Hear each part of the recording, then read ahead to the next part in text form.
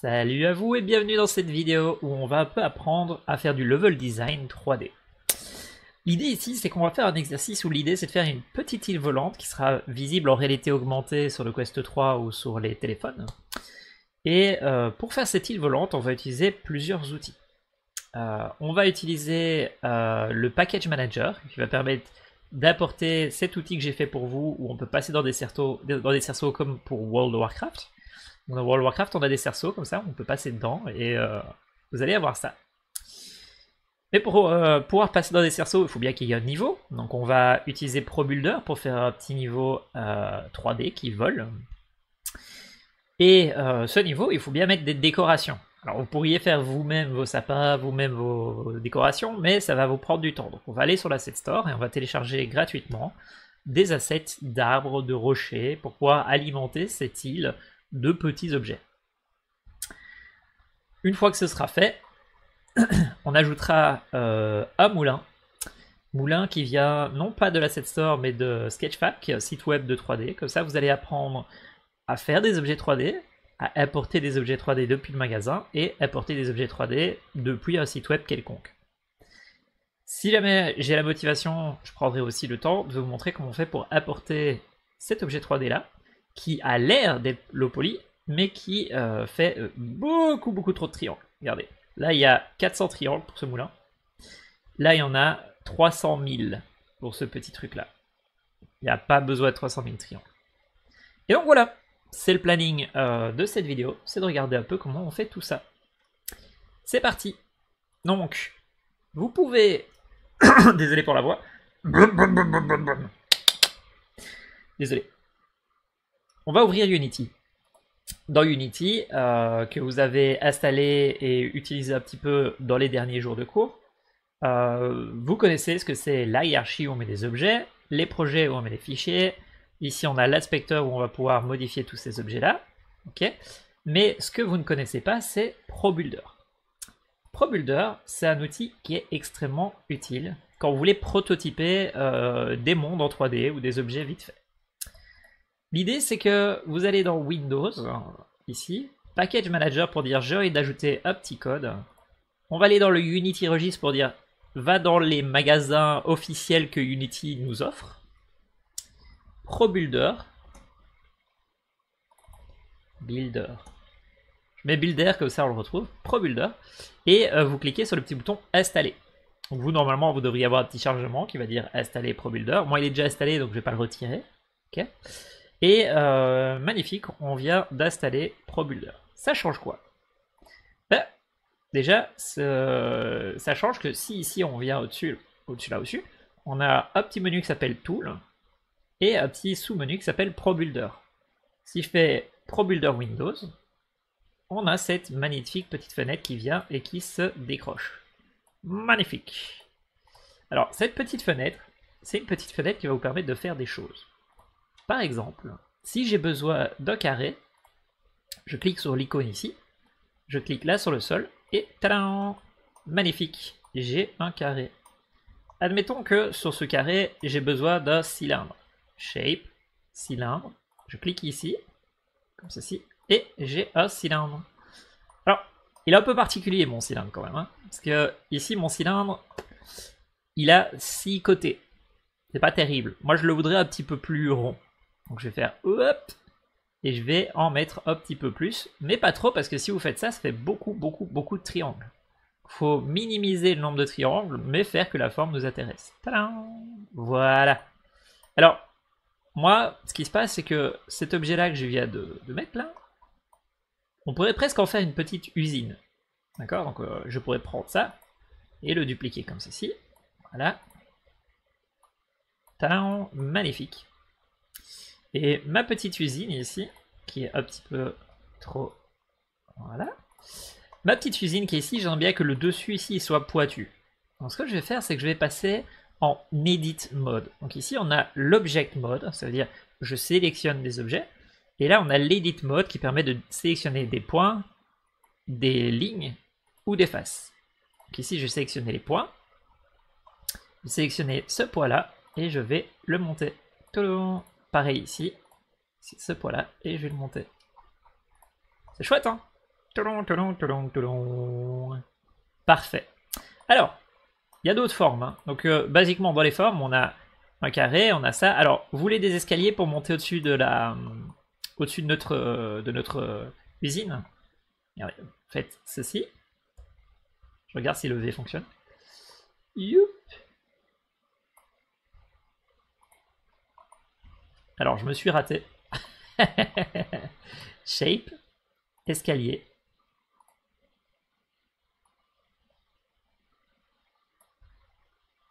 Et voilà, on a des magnifiques escaliers. C'est beau, hein? Alors, vous voyez que ici, la face, elle n'est pas tout à fait correctement mise. Je sais pas si ProBuilder va me permettre de bien éditer ça, mais on va essayer. hein. Je prends la face, hop, vous voyez, je peux la bouger. Si je fais ceci, pour la bouger, c'est de trouver le bon ajustement. Alors, le truc, c'est que, m'étonnerait qu'il aille ça, mais je vais essayer V. V, ça veut dire essaye de te snapper. Et oui, il a snappé au bon endroit. V, ça veut dire snapper, c'est-à-dire essayer de trouver un poids commun entre un objet et un autre objet, un poids et un autre poids. Donc voilà. Magnifique. Alors, un autre petite usine. On va rajouter une autre forme. Qu'est-ce qu'on a comme autre forme? On a un carré, un cylindre, des escaliers. On a un torus qui va nous permettre de mettre une petite piscine ici au-dessus. Comme ceci. Magnifique. Pareil pour le torus. Vous le créez. Et puis dans l'inspecteur, vous avez des propriétés qui va permettre de changer le nombre de euh, triangles que vous voulez. Ici, on va par exemple le mettre un peu plus low poly comme ceci. On peut décider de faire soit un cercle, soit on peut faire un tuyau, comme ceci. Et euh, on peut changer tout plein de paramètres, genre ici c'est pour faire une petite bordure plutôt, autour de la, de la pièce. Donc ici vous voyez que si je prends ça et que je fais ceci,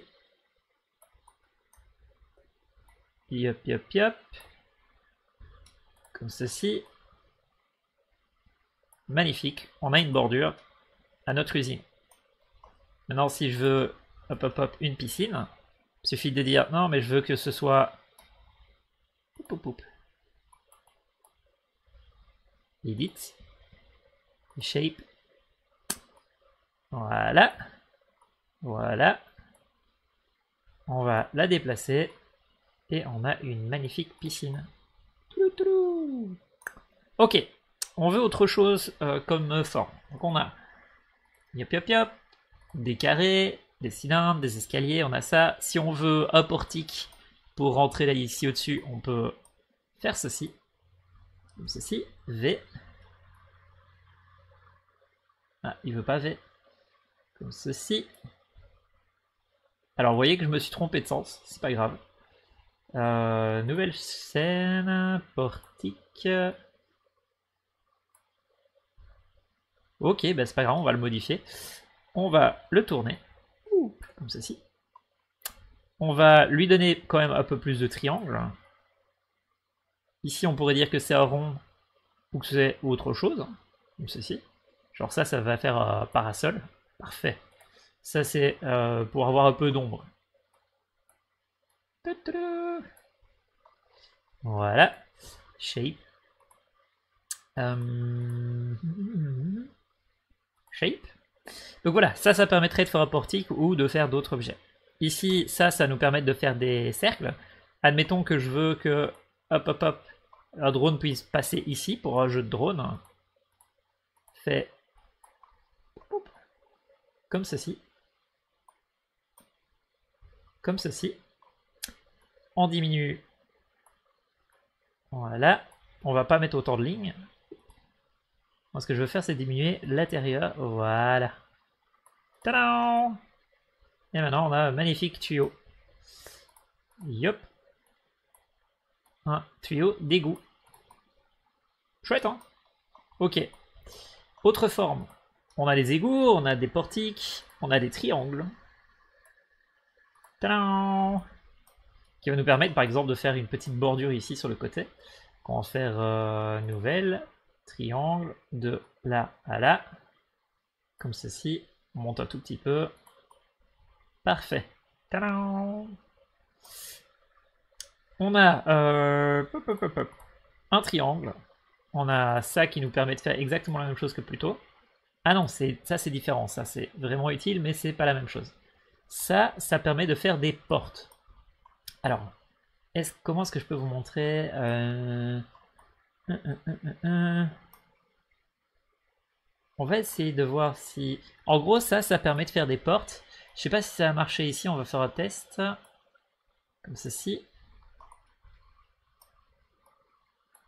En gros, ça permet de faire ce genre de volume avec un vide à l'intérieur, mais le jour ça avait beaucoup mieux marché que ça, que ça c'est pour ça que je suis un peu perturbé. Euh, Attends, réfléchissons, comment on avait fait la fois passée Si je fais ça, ça, ça, ça, voilà. Vous voyez, on a un magnifique couloir. Donc en gros, il nous crée pas l'extérieur parce qu'il n'y a pas besoin de faire l'extérieur, vu qu'on a besoin que de voir que d'un seul côté, mais il va vous faire euh, un couloir dans lequel vous allez pouvoir marcher. le problème du coup, c'est qu'il faut réussir à faire le dessus euh, pour que ce soit un petit peu beau. Et hop, comme ceci. Voilà. Voilà.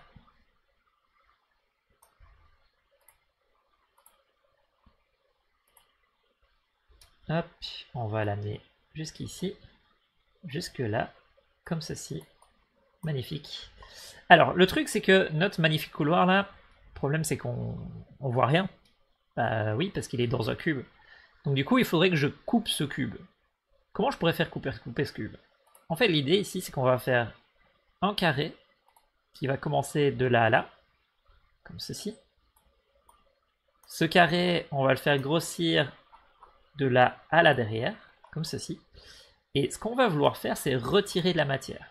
Alors, retirer de la matière à un objet, c'est un truc qui peut faire péter Unity parce que peut y avoir des calculs qui se mettent l'un derrière l'autre et qui cassent le code. Ça arrive de temps en temps sur tous les logiciels de 3D. Et donc du coup, ici, ce qu'il a fait, c'est qu'il a caché cette fonctionnalité dans une option particulière. Je vous montre. Il faut aller ici dans Edit, puis dans Préférences, en préférence, on a un petit menu Pro Builder et euh, vous allez cliquer sur Experimental Features Enable. Vous cliquez ici pour que ça s'active. Quand vous allez faire ça, il va installer un petit peu plus de code sur votre euh, projet Unity. Et en ayant ce code supplémentaire, vous allez avoir ici normalement un nouveau menu expérimental booléen. Et booléen, ça veut dire booléen, ça veut dire vrai ou faux.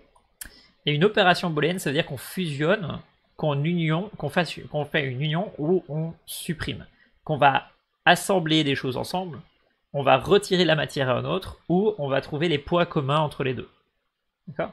Dans, tous les logiciels de 3D, il y a, ça. Alors, vu que j'ai cliqué sur le petit, la petite case euh, de tantôt, il me l'a supprimé.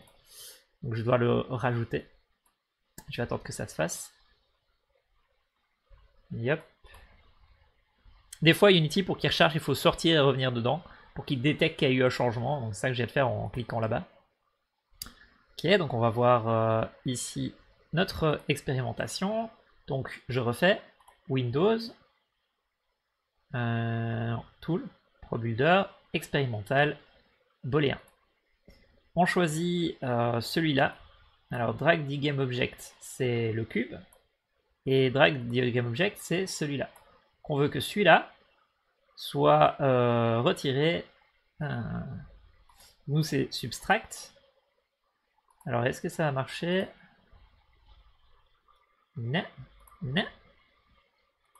Voilà. Donc, en fait, ce qu'il vient de faire ici, comme vous pouvez voir, c'est qu'il a retiré à celui-là l'autre volume et il nous a créé un nouvel objet 3D qui est la fusion des deux. Vous voyez un peu l'idée? Donc si je veux par exemple fusionner celui-là et celui-là, je peux faire pareil. Donc euh, on regarde, celui-là c'est euh, new, celui-là c'est d'or. Donc si je mets new avec d'or et que je fais euh, union, on a notre objet qui devient un seul objet. Vous voyez l'idée? Ici maintenant, mon d'or, je peux l'enlever, lui aussi, on va retirer tous les trucs d'origine. Ah Ça par contre c'est pas idéal. En gros, il m'a fait une drôle de fusion. Euh, et donc du coup, il m'a supprimé les bords là-bas. Hmm. Donc du coup, ce que je vais peut-être essayer de faire, c'est de prendre les deux. C'est ça que je vous dis que c'est expérimental. On va prendre les deux. On va essayer de les fusionner pour les... Euh, ah C'est intersection, je crois.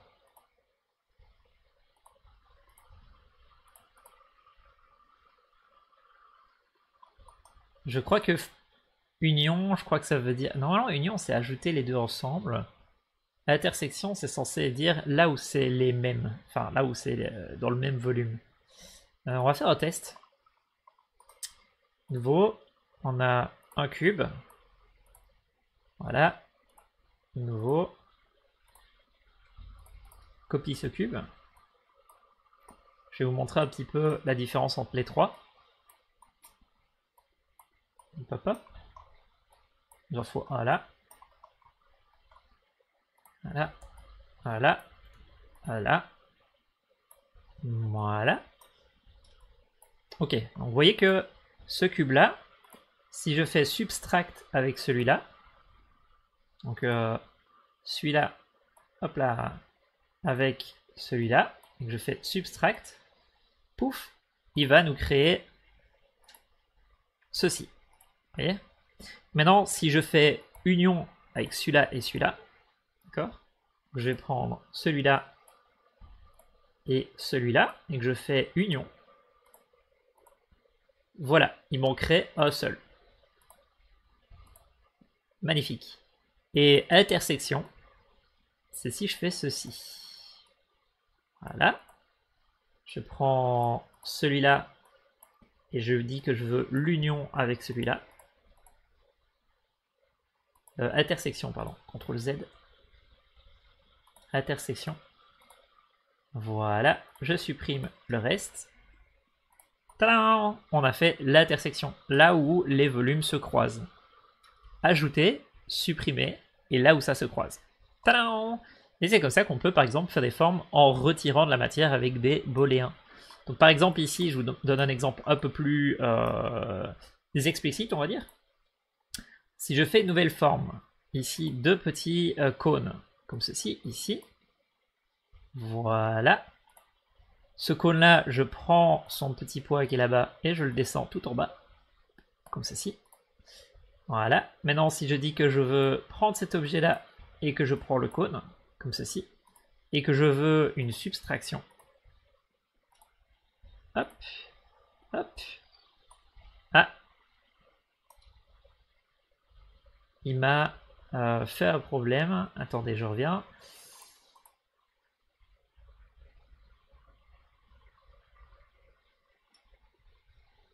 Euh, hein.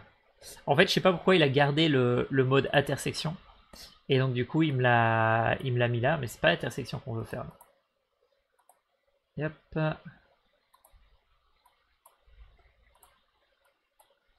Ok. Donc nous, ce qu'on veut, c'est une, une subtraction. Donc on sélectionne celui-là. On sélectionne celui-là. On dit qu'on veut une subtraction. On supprime celui-là. Ah.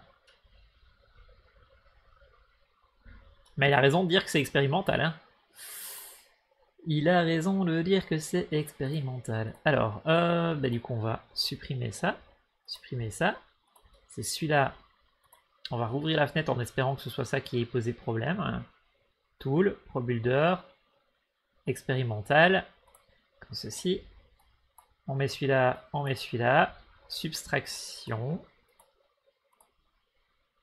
Hein. Est-ce que c'est parce que...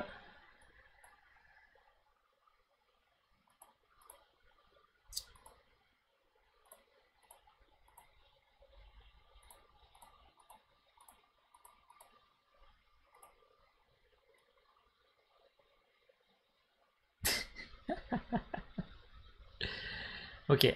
Euh, bon bah c'est pas plus mal, au moins comme ça on voit à quel point ça peut vraiment devenir vite galère tout ça. On va le faire avec un bête, euh, avec deux bêtes, deux bêtes euh, formes, cube. Voilà. une autre forme qui va être le rond. Un rond, un rond, un rond.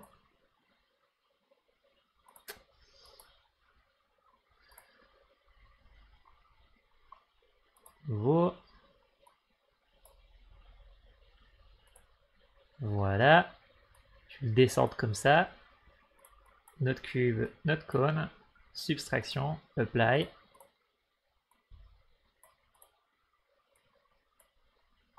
Voilà. Alors, bon, c'est pas idéal parce que je me suis planté plusieurs fois, mais vous voyez l'idée ici. Ça, faire ça, c'est chiant quand on n'a pas cet outil.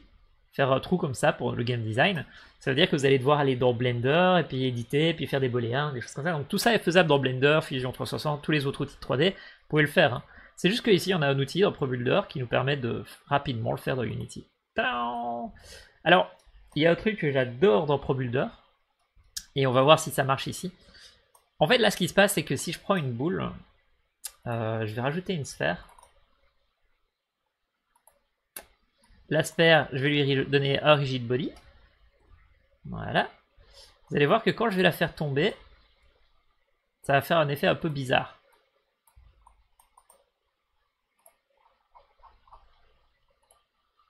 Ok. Vous êtes prêts? À votre avis, qu'est-ce qui va se passer si je fais play?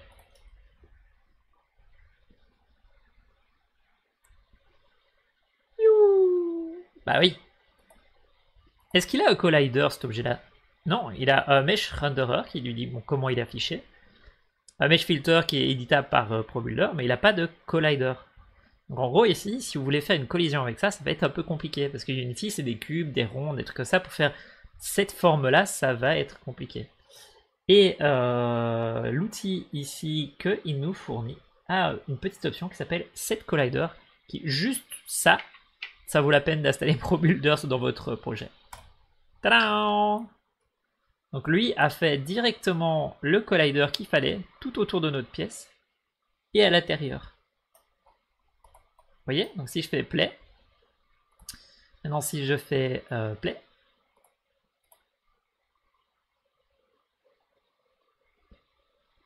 Hop C'est tombé dedans. Si je prends l'objet et que je le tourne.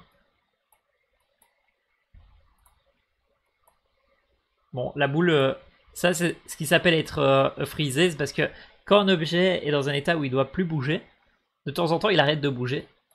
Et la physique du coup n'est plus calculée. Pour gagner des ressources. Tadam Bon, euh, ce serait quand même mieux si je pouvais le voir, donc... Magnifique, hein? Je trouve trop, ça c'est vraiment vraiment trop cool. D'ailleurs, en parlant de ça, vu qu'on fait un projet où on doit faire un circuit avec des drones, d'accord? Il est fort possible que vous ayez envie de faire euh, un endroit où l'utilisateur doit passer. Donc ici, on va faire euh, ceci. Euh, attendez. pop, pop, pop, Il me laisse pas faire de, de forme. Ok. Comme ceci. Voilà, ça c'est l'endroit où le joueur doit passer. On va lui mettre un petit peu plus de comme ceci, voilà. Et si je demande à Unity de faire les collisions, donc ici vous voyez qu'il a un Mesh Collider, et si je dis convexe, euh, Unity va faire vous les collisions comme ceci. Vous voyez, il y a des lignes vertes tout autour. Vous voyez pas un truc un peu particulier dans les lignes vertes? Je vais vous montrer. Copier. Voilà, comme ceci. Voilà, si je fais play, à votre avis, il va se passer quoi?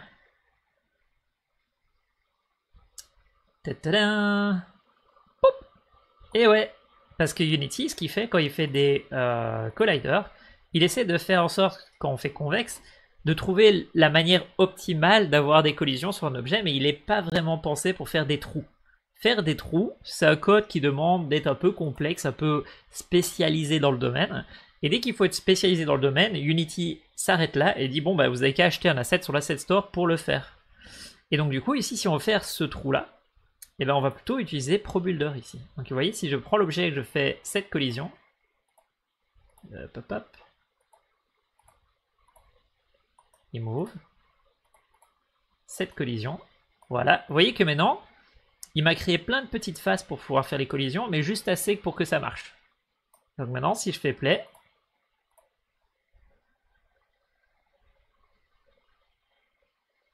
Tadam Bon, il m'a désaffiché les colliders, donc on va euh, dupliquer l'objet.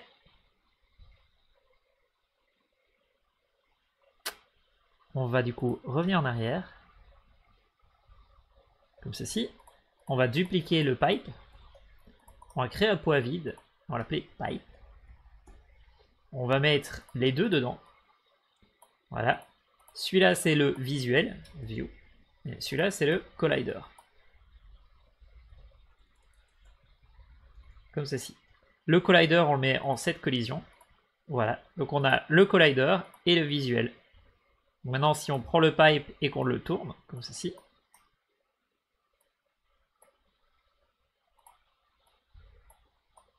qu'on met notre petite boule un peu plus loin,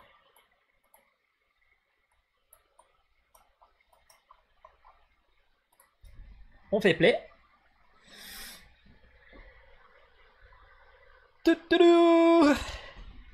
Magnifique. Et voilà un peu à quoi sert ProBuilder. Alors, on va arrêter de jouer avec les shapes, je vais vous laisser jouer avec les shapes, il y en a plein de shapes, il y a des... Ça, c'est ce qu'on appelle un quad. Yep, ça, c'est ce qu'on appelle un plane. Alors, c'est quoi la différence entre quad et un plane En fait, la différence entre quad et un plane, elle est ici. Vous voyez que ça, c'est toutes les lignes qui forment les triangles de nos objets. Comme ça qu'on sait à quel point il y a besoin de triangles pour faire tel ou tel objet. Vous voyez que par exemple, le bord là-bas prend plus de triangles que toute notre scène. Un quad, c'est juste deux triangles, comme ceci. Un plane, c'est ce que, vous allez voir, c'est ceci. Hop là. En gros, c'est un carré composé de plein plein plein de petits carrés. Pourquoi on aurait besoin de faire euh, plein plein plein de petits carrés? C'est parce que dans certains cas, il faut que le plane puisse bouger en 3D. Typiquement, euh, si on fait de l'eau. Vous montre. Water, plane, vertex, image, voyez ici, il y a plein plein plein de petits triangles. Et ces triangles, on va les monter et les descendre, comme ceci, pour leur faire semblant d'être de l'eau. Et en bougeant ces triangles vers le haut et vers le bas, on peut donner un semblant de vague grâce à des mathématiques.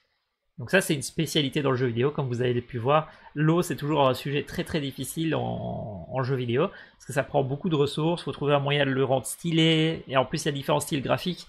Il y a du réalisme, il y a du cartoonesque, euh, il y a du j'ai vite fait ça, il y a du super beau avec des textures pour la piscine. Donc l'eau, c'est un métier.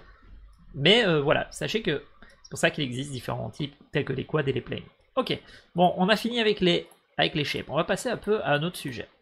Moi, ma petite usine, là, j'aimerais bien pouvoir lui donner de la couleur. Euh, yop, yop, yop. Ah oui, non, je vais vous parler de, du Bézier Shape. Il est trop cool ce truc. Alors il y a deux trucs qui sont cool, c'est le Bézier Shape et le Poly Shape. Le Bézier Shape, c'est ceci. Ça permet de faire des courbes de Bézier. Admettons que je dois faire un tunnel qui va de là-bas à là-bas.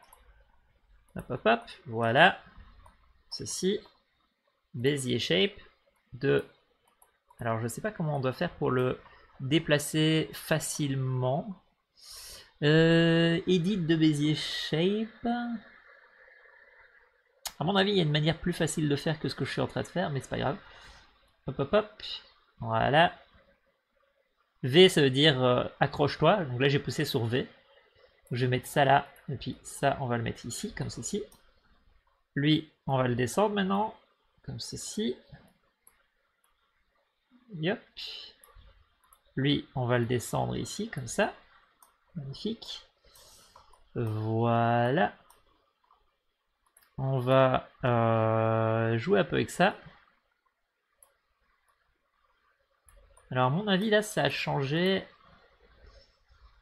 à cause de tous ces petits éléments là. Tadam Comme ceci. Maintenant on a un magnifique tuyau qui rentre et qui sort de notre usine. Trop cool hein? Bon ici par contre vous voyez que euh, j'ai foiré la rotation. Hmm. Est-ce qu'il y aurait moyen à la fin de gérer une meilleure rotation que ça? Smooth, close loop, c'est si on veut faire une boucle fermée. Ça pourrait être une solution à notre problématique. C'est de faire ça. Et puis alors après, ce qu'on peut faire, c'est de dire euh, qu'on retire cette partie-là. Et pour retirer cette partie-là, je vous montre comment on va faire. On va prendre ça. Faire euh. Alors il y a deux techniques. La première c'est d'utiliser ce bâtiment-là pour le retirer, mais vous risquez d'avoir des problèmes parce que le bâtiment est complexe. La deuxième c'est de faire un gros carré qui, va jusqu'en bas et puis de faire une coupure. Euh, je vais vous montrer la technique du gros carré parce que c'est ce que j'utilise en Fusion 360. Alors la technique du gros carré c'est ceci. Prenez un gros carré, comme ceci. Donc plus ou moins euh, la forme pop de ce que vous voulez retirer, comme ceci. Voilà, donc on sait que le tuyau il va de euh, là à là. Ensuite, maintenant qu'on a fait ça, hop, hop, hop. Edit.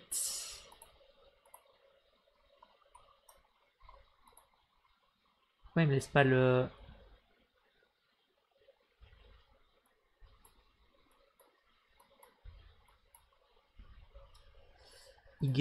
Y200. Ah C'est pas grave, on va faire un extrude.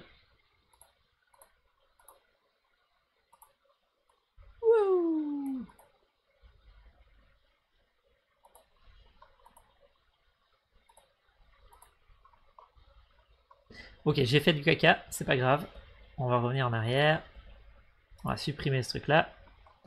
On va revenir ici. Va refaire euh, une carré. Ou une carré. Comme ceci. Comme cela. Voilà. Donc là, il y a de la matière que j'aimerais bien pouvoir euh, retirer. Comme ceci ici. Donc maintenant, je vais faire Windows expérimental,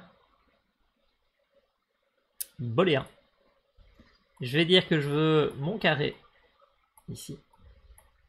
Et je veux mon magnifique tuyau là-bas. D'accord?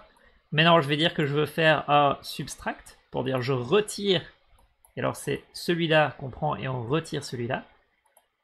On fait apply. Vous voyez que ça prend un peu plus de temps. Parce que c'est des formes un peu plus dures, c'est du Bézier, il y a plein de...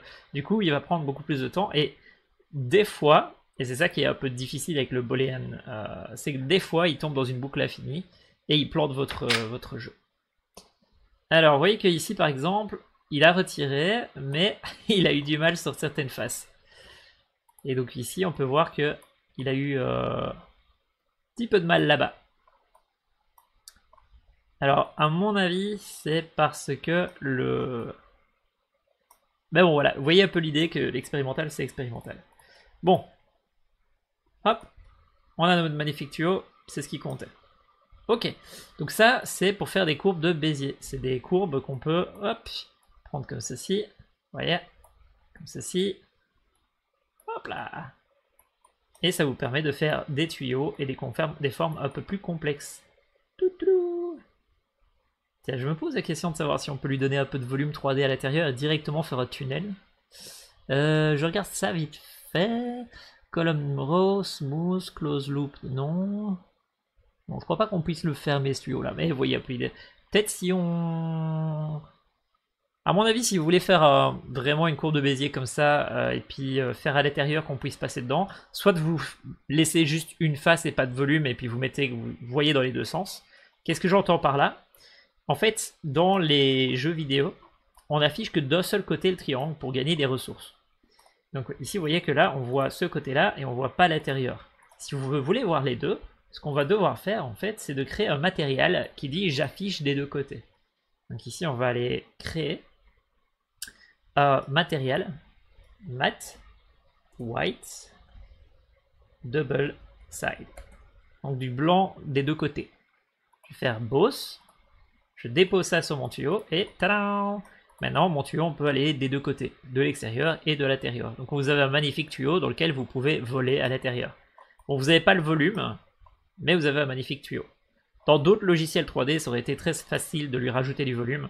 On aurait juste dit suis la courbe et rajoute euh, des trucs tout autour, mais c'est justement euh, l'idée, c'est qu'ici c'est pas un logiciel 3D, c'est un outil pour faire vite du prototypage.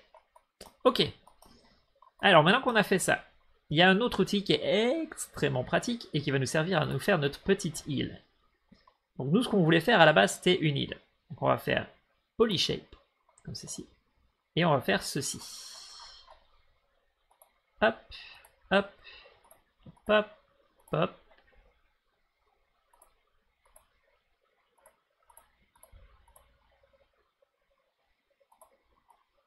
Tadam Magnifique, n'est-ce pas? Voilà, on a une forme d'une île. Alors, cette petite île, on a quand même envie qu'elle soit un peu profonde. On va euh, faire ce qu'on appelle un extrude. Alors, extrude, comment on fait euh, Face. Comme ceci. Généralement, extrude, c'est E. Je regarde ici si euh, extrude, extrude.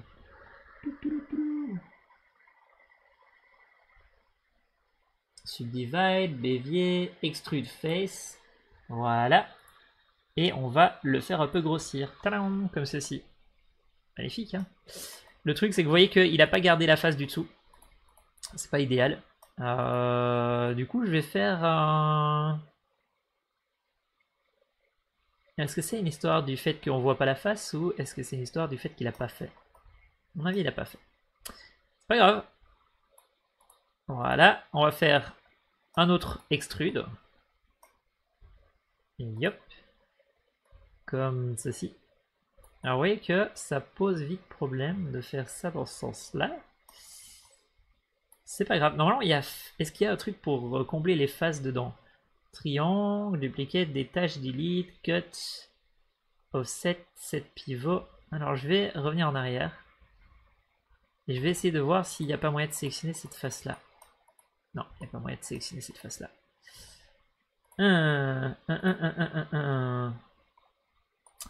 Ce qui m'ennuie un peu dans cette histoire, c'est que j'aurais bien voulu avoir le dessous, euh, le dessous ici mais on le voit pas et je peux pas le sélectionner et je peux pas le remplir comme dans les autres logiciels. Les autres logiciels, j'aurais juste pris les faces et j'aurais fait euh, jointure. Peut-être en, sélectionnant les, les côtés, on va essayer. Ici, si je sélectionne les côtés comme ça, comme dans Blender.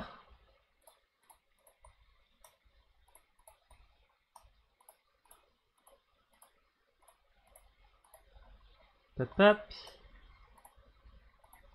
une option ici. Field. Ah, je la vois. Je le vois l'option. Ici, il y a fill the hole. Tadam Fill the hole, ça veut dire remplir le trou. C'est ça que je voulais faire. Voilà. On a notre magnifique sol ici. Trop cool. Maintenant, ce qui se passe, c'est que ce magnifique sol, on aimerait bien le, prolonger un peu. Alors, c'est pas grave. Hein. On a différentes méthodes. Euh, si j'étais dans un logiciel 3D, j'aurais fait line et puis j'aurais pu partir d'une ligne, mais ici je peux pas. Donc du coup, ce que je vais faire, c'est je vais prendre face, choisir cette face-là. Je vais faire euh, extrude, comme ceci. Je vais la descendre. Et puis je vais la rétrécir, comme ceci. Voilà. Puis je vais extrude. Je vais la descendre un peu. Et je vais la rétrécir. Je vais la tourner un petit peu pour lui donner un aspect un peu triangulaire, comme ça. Magnifique. Maintenant, pour lui donner un petit peu moins de volume mathématique, on va prendre les points là-bas. Et on va euh, bouger tout ça. Ceci. On va prendre celui-là, celui-là, celui-là. Hop. Celui-là.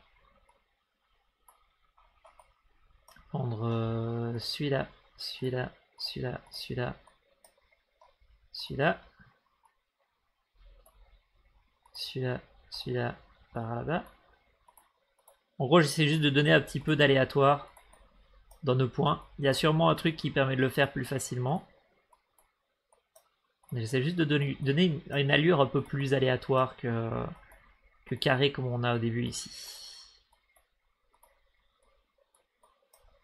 Voilà. Déjà plus joli.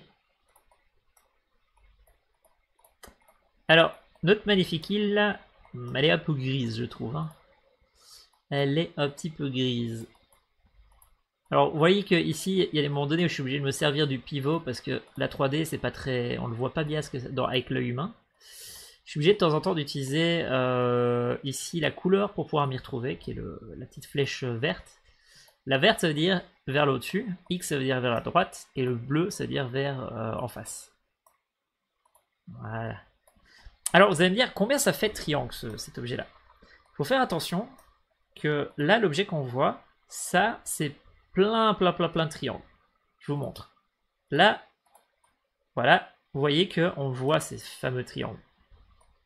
Donc en gros, lui va essayer de trouver la meilleure façon de faire les triangles, mais euh, on les voit pas directement dans le, rendu graphique. Donc faites attention aux triangles, c'est très important. Plus vous avez de faces, plus vous avez de triangles, plus vous avez des calculs.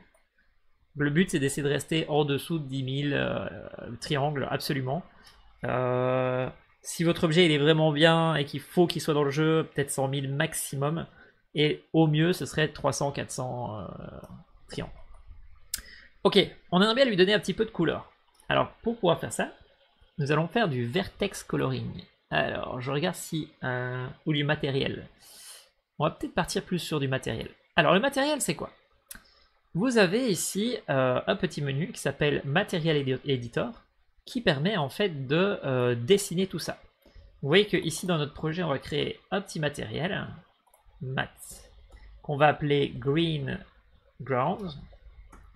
On va créer un autre qu'on va appeler dirty Matt Brown. Je sais pas comment on écrit. Brown c'est avec un O ou un U? Brown. Dirt. Donc euh, matière euh, brune de terre. Matière euh, blanche, on va la mettre ici. Et green, on va le mettre là-bas. Voilà. Il nous faut aussi du black. J'ai créé sans le vouloir un deuxième matériel. Voilà, il nous faut du black. Voilà, qui va être noir. On va avoir le brun qui est brun. Brun terre. Et on va voir le green qui est verdâtre. Voilà. Comme ceci. Donc maintenant, notre petite île, ici, on va pouvoir euh, éditer les faces. Cliquer sur les faces qu'on désire transformer comme ceci. Voilà, toutes ces faces-là, j'aimerais bien appliquer le green. Maintenant, on va faire la même chose pour les autres. Donc on va yop, sélectionner celle-là, celle-là. Alors est-ce qu'il y a moyen de dire tout ensemble et pas... Ok. C'est pas grave. Alors je vais voir si ça fait comme dans Blender. Dans Blender, quand on le met en... Mais non, ça marchera pas. Ça fera pas comme dans Blender. Yup.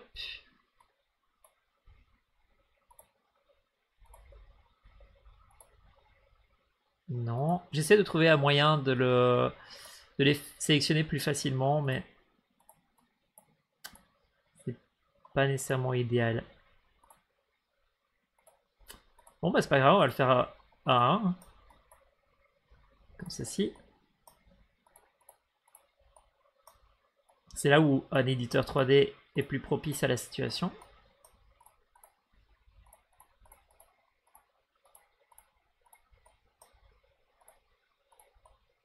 Voilà. Ok. Donc ces trucs-là, on va dire qu'on veut appliquer le brand. Donc on va, ici, on a euh, Dirty. Appliquer Dirty. Alors il y, a, il y, a, Alt ici qui permet de plus vite y aller, si vous voulez euh, dessiner plus vite. Genre si ici je fais Alt 1, j'ai le mettre en blanc. Si je le mets maintenant en noir, alors est-ce que si, euh, est-ce qu'il y a moyen de les déplacer? Non. Si je fais ça, si je mets black à la place de brown, ok donc c'est, il applique les choses donc euh, c'est pas grave. Ok. Green, voilà. Ok, donc ça à la base c'était brun, donc Alt 3. Magnifique petite île. Maintenant, si on veut mettre des rochers, ça va être gris. Mat, gray. Gray, c'est avec un A ou avec un Brown? Oui. Gray. C'est avec un E ou avec un A?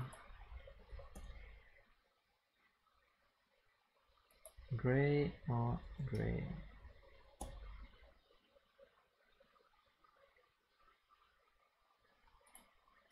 J'oublie à chaque fois. Je suppose que ça veut dire qu'il est en anglais en américain, mais... Par exemple, gray is versatile word that can be spelled either gray or gray depending on where you are located or the context. Ok. C'est une faute d'orthographe que euh, pourra toujours nous reprocher, quoi. Ok. Euh, gray, gray, gray. On a du gray. Et donc si je veux faire un petit rocher là-bas, comment est-ce que je peux faire un petit rocher? Hop hop. Je viens ici. Poly. Comme ceci. Je viens, je fais hop hop hop hop hop hop. Comme ceci. Hop. Voilà. On prend la face. Sélectionne la face. On fait extrude. Extrude, il est là. Ceci. On le rétrécit. On le tourne pour donner un volume un peu irrégulier. Comme on a fait pour le précédemment. On prend ces petits points. Voilà. Alors, vous voyez que je vous ai pas expliqué un truc qui était assez important, qui est le fait que vous avez des shortcuts qui vous permettent de gagner du temps. Les shortcuts, c'est euh, ce qui vous permet de ici de passer de l'un à l'autre comme ceci. Alors les shortcuts, comment on fait pour les, les changer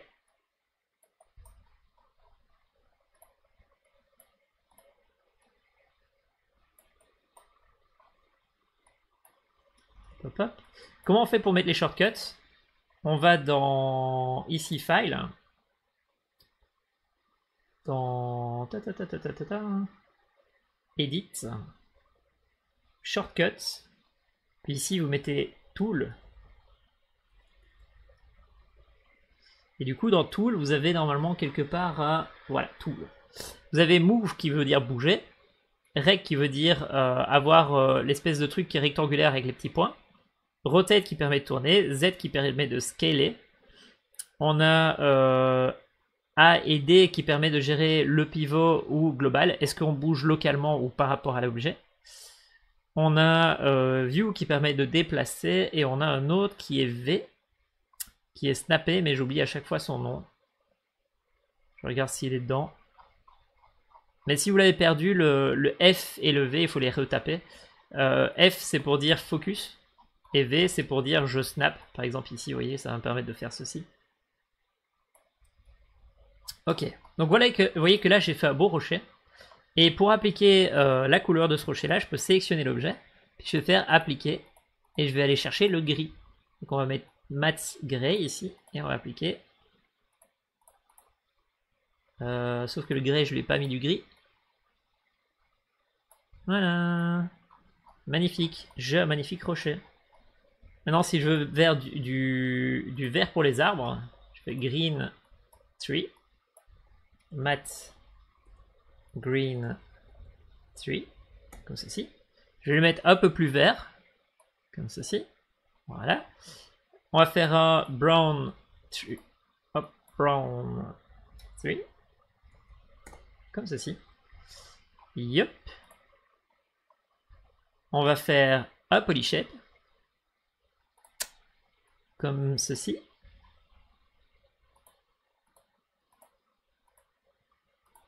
Voilà. Ce truc-là, on va l'extrude vers le dessus. Donc on va prendre la face qui est là-bas.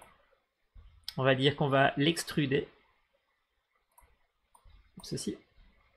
On va la monter. Comme ceci. Bon, c'est beaucoup trop grand. On va la rétrécir un tout petit peu comme ceci.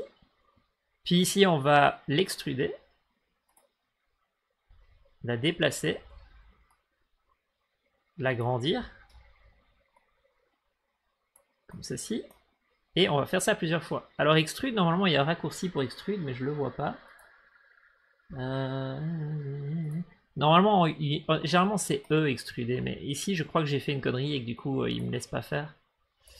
du coup on va faire extrude, scale, extrude, déplacer, scale,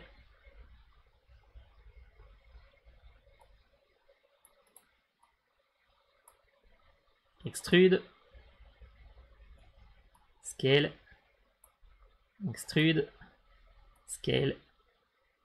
Et alors là, on va faire ce qu'on appelle un merge s'il y est. Vous voyez que ici, si je fais merge face, comme ceci, euh, il va pas vouloir. Normalement, c'est peut-être avec les points alors. Si je sélectionne mes points ici.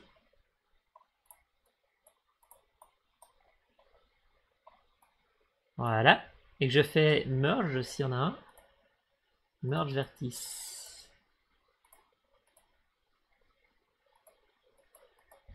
Ah. Bon, bah c'est là où euh, j'aime bien Blender. hein. Merge vertex, normalement ça aurait dû prendre tous mes points et euh, les mettre ensemble. Euh, weld, collapse. Ah, c'était collapse. Voilà. J'ai un magnifique arbre. Donc maintenant, qu'est-ce qu'il me reste à faire? Bah, La même chose que ce qu'on a fait précédemment. On prend les faces, on sélectionne celle-là, on sélectionne celle-ci, celle-ci. Voilà, on dit qu'on veut euh, le green tree et le euh, pop pop pop, c'est pas green tree, brown tree. Nous on veut le brown et ici on veut que attention que le brown il n'était pas brown. Voilà. Comme ceci. Attention, quand vous changez un matériel, ça change dans tout le jeu. Et donc ici, vous voyez que quand j'ai changé après l'avoir appliqué, ça a changé sur, euh, sur mon arbre. Ce qui est assez pratique, mais euh, ça peut casser pas mal de choses si on n'y fait pas attention. Voilà.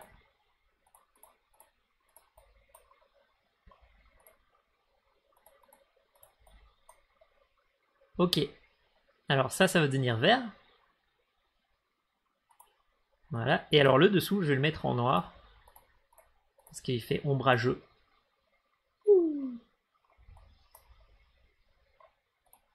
Oups.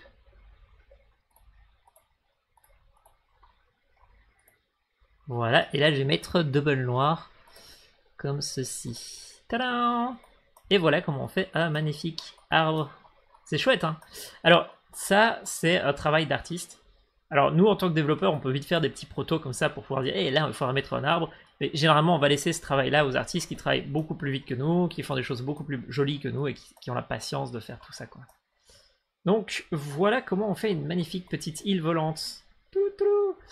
Pareil pour mon usine, je peux prendre mon usine là-bas et la déplacer comme ceci. Alors vous voyez qu'il y a un petit problème avec mon usine. Si je la déplace, j'ai plein de petits objets. Alors sur ce sujet-là, ce que vous pouvez faire, c'est ceci. Admettons que vous aimez bien votre usine comme ça. On va aller supprimer ça, ça, ça et ça et ça, parce qu'on n'en a plus besoin. Tout ça, notre fameuse usine ici, si on se dit non mais en fait moi je l'aime bien mon usine comme ça, euh, je la trouve trop classe, euh, je veux la conserver comme ça.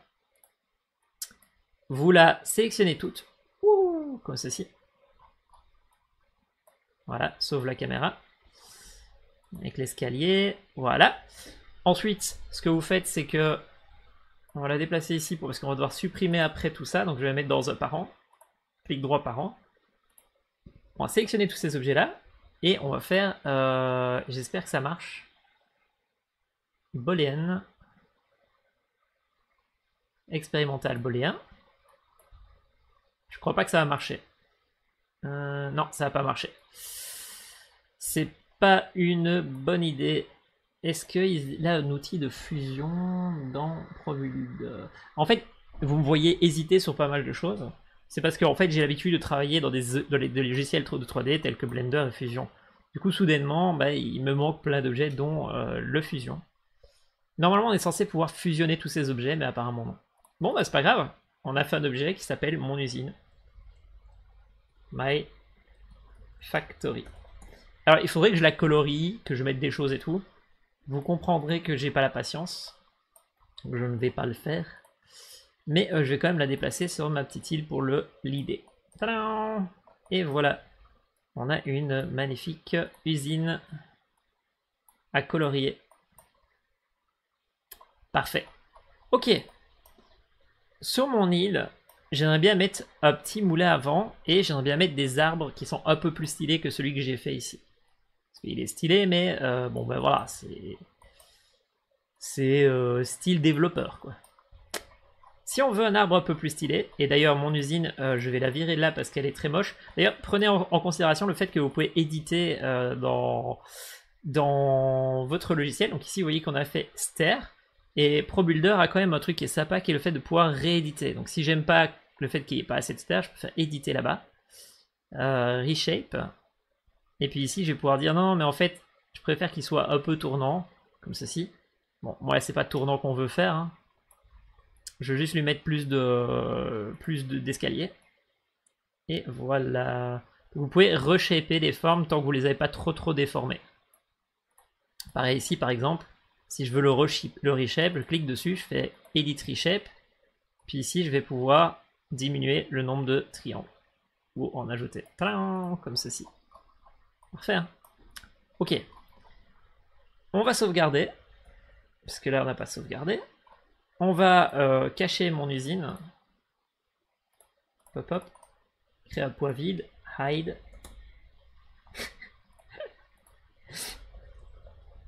Dangerous. C'est le nom d'un jeu vidéo. Euh, hide and Dangerous. Ok. On a notre magnifique île. Maintenant, on a bien mettre des arbres. On va voir un peu ce que c'est l'asset store. Donc, si on revient dans le cours, ici, on a plein de petits euh, assets qui sont tout jolis, tout beaux. Et ces assets-là, c'est des assets de l'asset store. Genre, celui-là, il est parfait. On va regarder avec celui-là.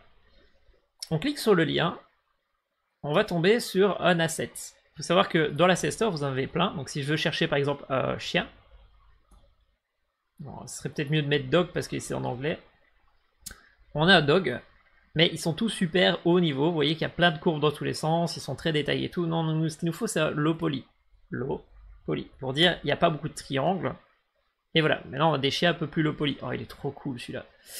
Euh, mais donc, euh, il est à 9 euros, il est à 70 euros, donc vous comprendrez qu'il y a pas mal d'assets qui sont payants. Si vous voulez filtrer, vous pouvez mettre ici gratuit. Et donc, du coup, maintenant, on a déjà un peu moins d'assets et un peu moins d'assets qui sont stylés et qui sont dans la thématique. Vous voyez qu'ici, il m'a trouvé un Lopoly, mais, mais c'est pas vraiment le chien.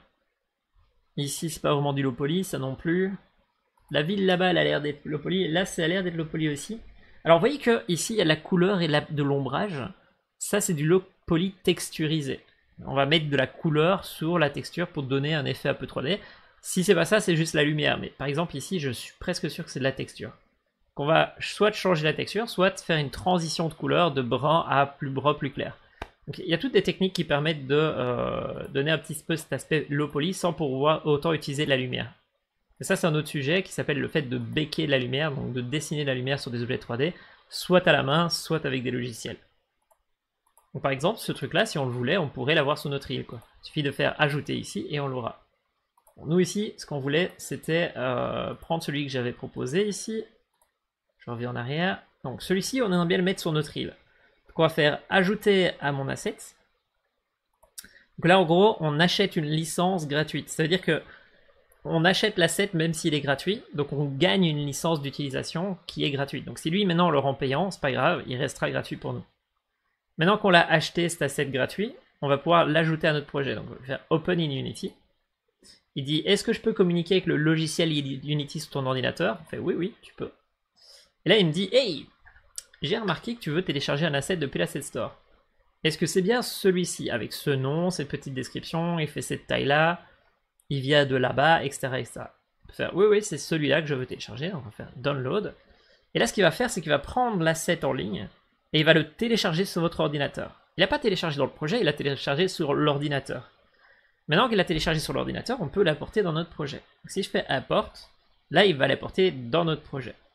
Mais avant ça, il nous dit, est-ce que vous êtes sûr? Parce qu'en fait, dans son projet, il a tout ça. Il a ces matériaux-là, ça va être dans ce nom-là, il a tous ces assets 3D-là, il a des préfabs, donc des petits objets qu'on peut déposer, il a une petite scène, une petite color map pour pouvoir gérer les couleurs de, toutes les textures. Une color map, c'est trop cool euh, qu'il en ait un, comme ça je vais pouvoir vous introduire aux color map. On va dire oui, c'est bon, je veux ça. Voilà, on copie. Et euh, ce qui se passe, c'est que maintenant, du coup, on a euh, ici euh, low poly nature pack light. Ça veut dire qu'on a un petit pack euh, ici. On va sauvegarder.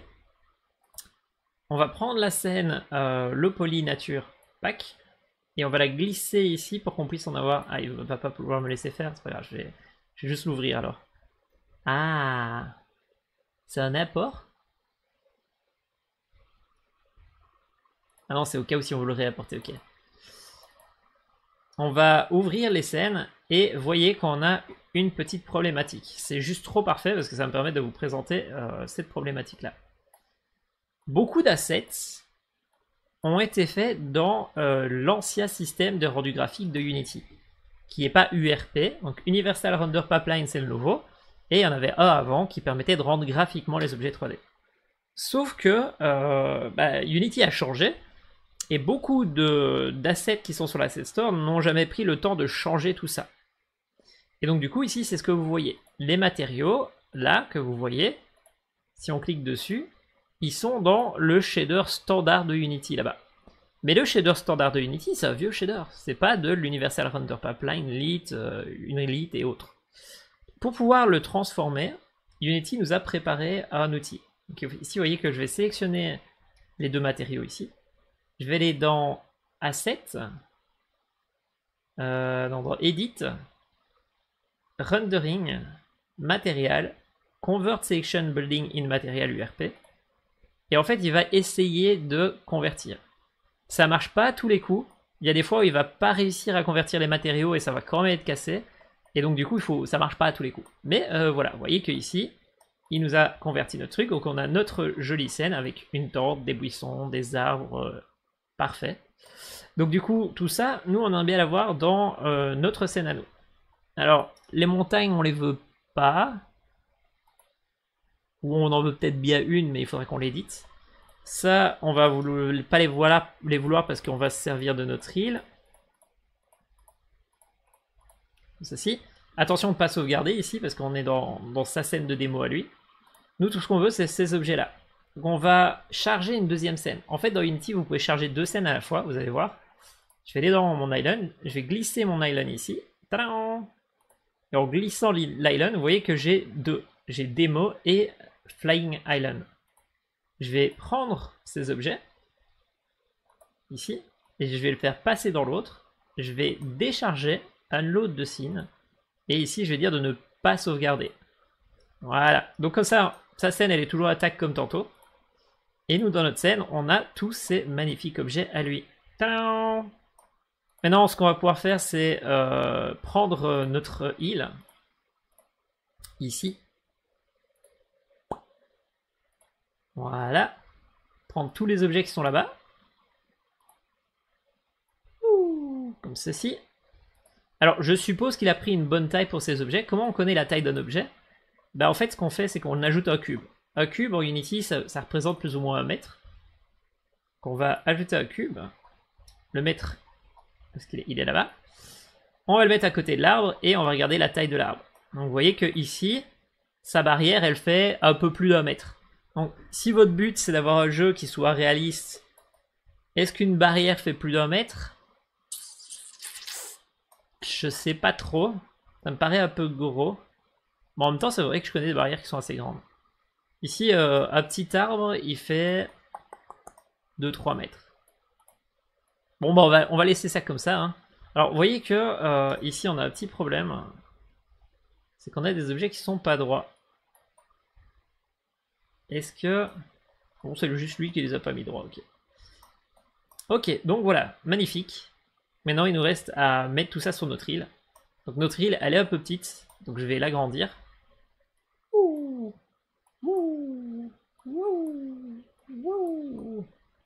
Magnifique. Voilà. Parfait. Euh, maintenant, je vais prendre tous mes objets. Je vais les tourner un peu plus comme ceci. Parce que j'ai vu qu'il y avait moyen que je perde pas trop de temps. Voilà. Comme ceci. Alors je vois qu'ils sont tous inclinés et c'est ça qui m'ennuie un peu. Le problème c'est que la tente l'était pas donc il faut que je le laisse euh, comme ceci.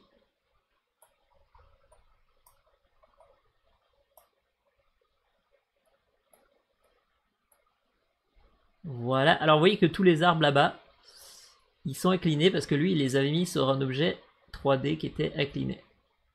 On va les sélectionner et on va désélectionner notre arbre. On va les redescendre et les tourner un petit peu.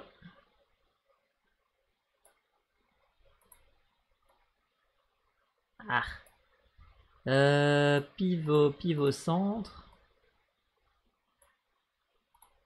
Ils seront un peu inclinés, mais c'est pas grave. Voilà. Euh, maintenant, c'est euh, le travail d'artiste. Hein. C'est euh, prendre les objets, les mettre pour que ça ressemble à quelque chose. Comme ceci. Voilà. On va mettre un petit peu de l'autre côté là. Voilà. Magnifique. Alors ici, soit on bouge les arbres, soit on édite euh, l'objet. Ah, ça, je savais pas que je pouvais faire ça comme ça. Ah shit. Il me l'a cassé du coup. Oh Ça c'est pas, pas de sa part. Oh saleté ah, ah non, c'est il me l'a redessiné. Oh, il me l'a redessiné ce con. Oh non Et en plus de ça, il m'a rajouté une face. Ok, non, c'est pas grave. On va... Cette face-là, on va essayer de la supprimer si on peut. Ah, ça c'est dommage. Delete. je vais juste supprimer la face.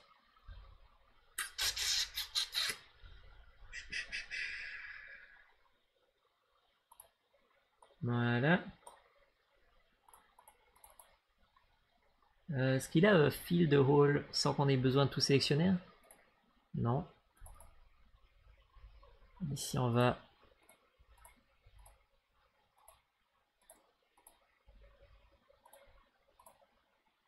Bon, vu qu'on est en low ça passe, mais si on était avec beaucoup beaucoup de triangles, c'est vraiment une tâche qui aurait pas été facile de faire ça. Euh, fil de hall. Ok. Alors, les faces. Toi, tu restes vert, toi aussi. Mais par contre, bah, du coup, vu qu'il a perdu nos couleurs en rééditant, on va devoir remettre nos couleurs. C'est pour ça que, généralement, on préfère de travailler dans un éditeur 3D classique pour pas avoir ce genre de problème, quoi. Euh, du coup, nous, c'était Island Brown. Brown Dirt, comme ceci. Oups. Voilà. Ok.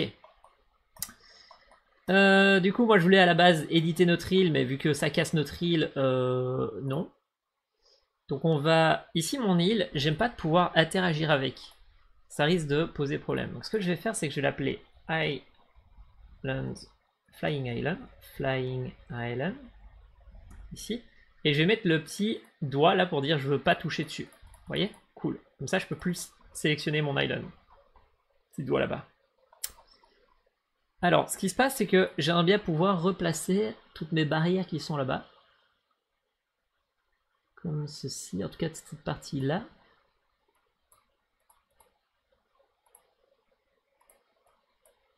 Pourquoi il me laisse pas... La la la la la...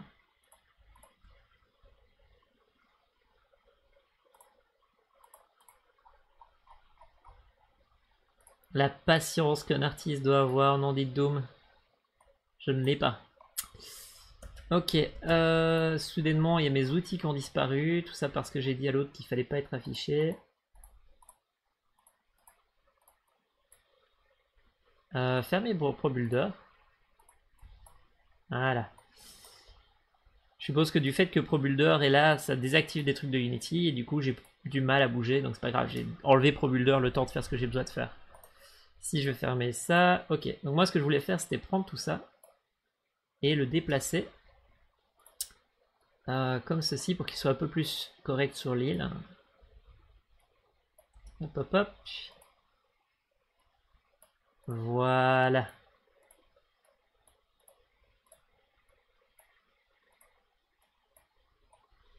Magnifique petite île. Alors, vous voyez que j'ai perdu des pieds. Oh, c'était ça les pieds. Non J'ai les pieds là-bas, c'est pas des arbres qui ont été coupés, c'est euh, les arbres que j'ai déplacés comme ça et donc du coup les, les, les, pieds ils sont plus dessus. Du coup, il y a des arbres volants pour le moment. Bon, bah, arbres volants. Vous allez être des arbres plantaires.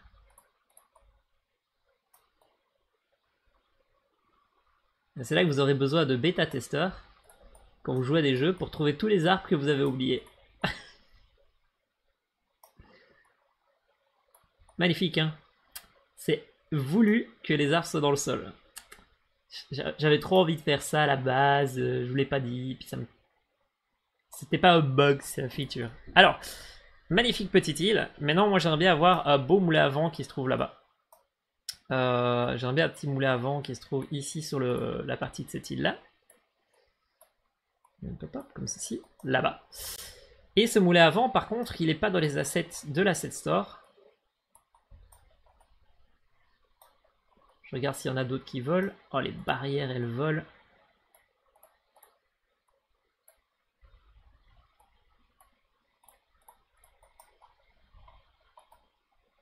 Bon, il y a plein de choses qui volent. Hein.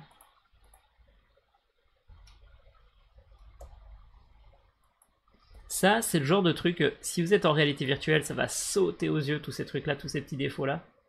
Euh, même en réalité augmentée, à mon avis, mais ça va sauter aux yeux, quoi par contre, ça c'est très stylé. C'est pas voulu, mais c'est très stylé. Voilà. Ok.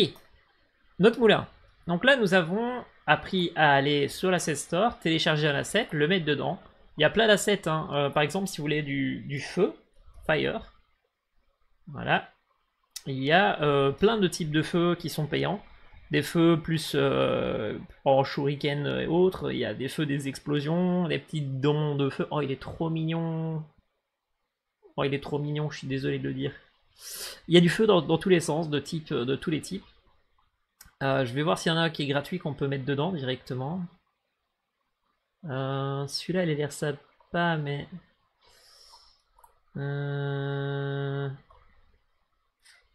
Je vais mettre cartoon en plus. Cartoon. Pour avoir un feu un peu moins réaliste. Celui-là, il est sympa. Ceux-là, ils ont l'air d'être bien sympas. Ah oui, non, c'est sans payant. Euh, ça, c'est plein d'effets euh, de magie, de sort et tout. Ça, c'est des explosions un peu trop réalistes. Euh, on, va devoir, on va devoir prendre ce qu'on a. Hein. Vu qu'on trouve pas est-ce qu'il a du feu? Il a du feu. Est-ce que ça va marcher? Pas sûr. Parce que euh, ça, c'est ce qu'on appelle des particules. Donc, pour le moment, qu'est-ce qu'on a vu? On a vu que ça, c'était des matériaux, donc des choses qui possèdent de la couleur et la façon dont ça va réverbérer la couleur. On n'a pas vu les matériaux avec des textures, mais basiquement, si on voulait mettre euh, une texture dessus, une image, on aurait pu prendre notre matériel ça, ici, rajouter ici euh, une image et ça nous aurait donné une couleur comme ceci hop, à la Super Mario. Ça c'est une image par-dessus la couleur. C'est un matériel avec une texture. Alors que là c'est un matériel sans texture. Donc euh, voilà, ça c'est matériel, ça c'est une texture. D'ailleurs vous voyez que cet objet est composé donc de deux matériels. Donc en gros il a ce qu'on appelle des draw il en aura beaucoup plus. Il aura un draw c'est le nombre de fois qu'on doit dessiner un objet. Et vu qu'il a deux couleurs, on va devoir le dessiner deux fois. Il y aura deux draw calls. Euh, pap, Donc, mais c'est un autre sujet, les draw calls c'est un peu complexe, je préfère pas l'aborder ici. Mais basiquement, vous verrez vite que votre jeu il va laguer sur, euh, sur PC. Alors, d'ailleurs on peut voir un truc, c'est que du fait que notre texture elle est en lit, c'est-à-dire qu'il gère la couleur de la lumière, on a du blanc, on a du brun, on a de l'ombrage et on a aussi des jolies ombres. Et tout ça, c'est des calculs, donc ça prend des ressources. À la base, nous, on voulait faire juste ajouter un feu. Donc ici, Cartoon, on l'a téléchargé, on y a accès maintenant. Donc si je fais Open, comme ceci, et que je fais télécharger le Cartoon, il va le télécharger sur mon PC, comme on a dit précédemment. Import, on va pouvoir le mettre euh, dans notre projet. Voilà. Import. Et on va pouvoir, euh, grâce à ça, mettre notre joli feu dessus. Et le feu est composé de ce qu'on appelle des particules. le particule système, c'est tout un petit truc qui permet de faire de la, de la pluie, de la neige, de la fumée, des feux. En gros, c'est plein de petits objets tout plats qui donnent une expression de volume parce qu'on les a bougés avec, euh, qu'on les a bougés dans tous les sens. Vous allez vite voir ça. Euh, euh, effect are taken from. Nanana. Also by all the effect. Close. Ok, clear. On a du coup un petit dossier qui s'appelle. Euh, où est-ce qu'il l'a mis? JMOA 7. Ici, on va sauvegarder notre scène. On va la décharger. Une fois que celle-ci sera chargée, on va prendre la scène, on va la mettre ici. Voilà. Bon, du coup, on va décharger la nôtre, le temps de faire des tests. Et vous voyez qu'on a le même problème qu'auparavant. On a euh, tout qui est euh, rose. Comment on a fait pour le régler? On a cherché les matériaux. Donc ici, on va sur Cartoon. On va choisir ici ça pour dire qu'on veut voir tous les matériaux. Tous les matériaux ici, euh, on va dire qu'on veut seulement ceux de Cartoon. Donc matériel, ici, clic matériel. Pouf. Puis non pas asset mais cartoon. Comme ça on va pouvoir sélectionner tout ça. Et on va prier. Edit, rendering, matériel, convert. Oui. Et là, s'il marche encore, on va pouvoir utiliser euh, ces textures. Il y en a qui vont, à mon avis, pas marcher. Parce qu'il y en a certaines qui sont spécifiques au rendu graphique de, le, de, l'outil d'avant, donc il y en a qui ne marcheront pas. Quand on, achète un asset sur l'asset store, on est obligé de fournir en tant que créateur des démos. Donc ici, ce que vous allez voir, c'est ça. C'est un ensemble de démos qui permettent de voir ce que fait euh, votre, gamme d'objets 3D. Quoi. Alors ici, on voit qu'il y a des problèmes. Il a un truc qui a directement pété son outil. Euh, space to play, left et right to change. Ah, je sais ce qui change. C'est parce que l'ancien système de Unity n'est plus présent. Et donc du coup, ça fait péter son, son outil. Euh, je peux réinstaller l'ancien système le temps de faire des tests. Mais ça va redémarrer Unity par contre. Donc là, en fait, j'avais le nouveau système de Unity pour les touches de clavier. Lui, il est dans l'ancien système, et vu que j'ai désactivé l'ancien, ça marche pas. Donc je vais le remettre avec les deux. Mais si un jour je fais la réalité virtuelle, il faudra que son asset ne fonctionnera plus sur le fait de faire des démos. Parce que basiquement, euh, l'ancien système de Unity sera plus présent. Parce que quand vous faites de la réalité virtuelle, généralement on doit désactiver l'ancien système d'entrée clavier de, de, Unity. Donc là, ça va recharger. Une fois que ça aura chargé, on pourra tester sa démo à lui. Alors, en attendant qu'il fasse sa petite démo, on va regarder après deux trucs. D'abord, on va regarder s'il n'y a pas de l'eau. Water. Je regarde s'il n'y a pas euh, un, shader d'eau qui serait présent et qui serait euh, gratuit. Mmh. Mmh. Mmh.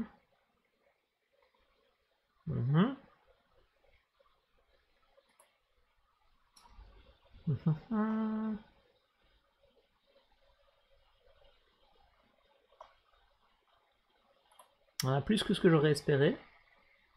Il faut voir lesquels veulent bien marcher. Hein, mais...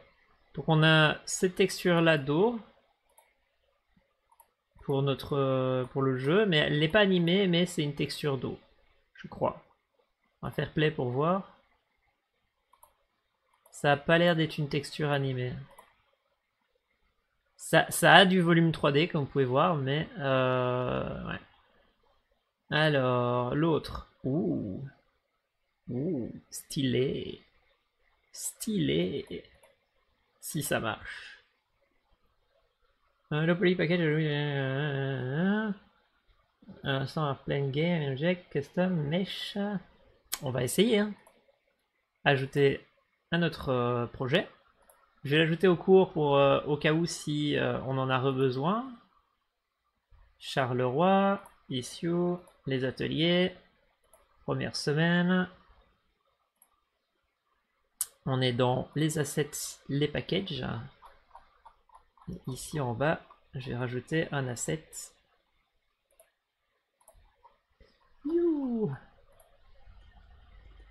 Comme ceci. Oh, elle est belle.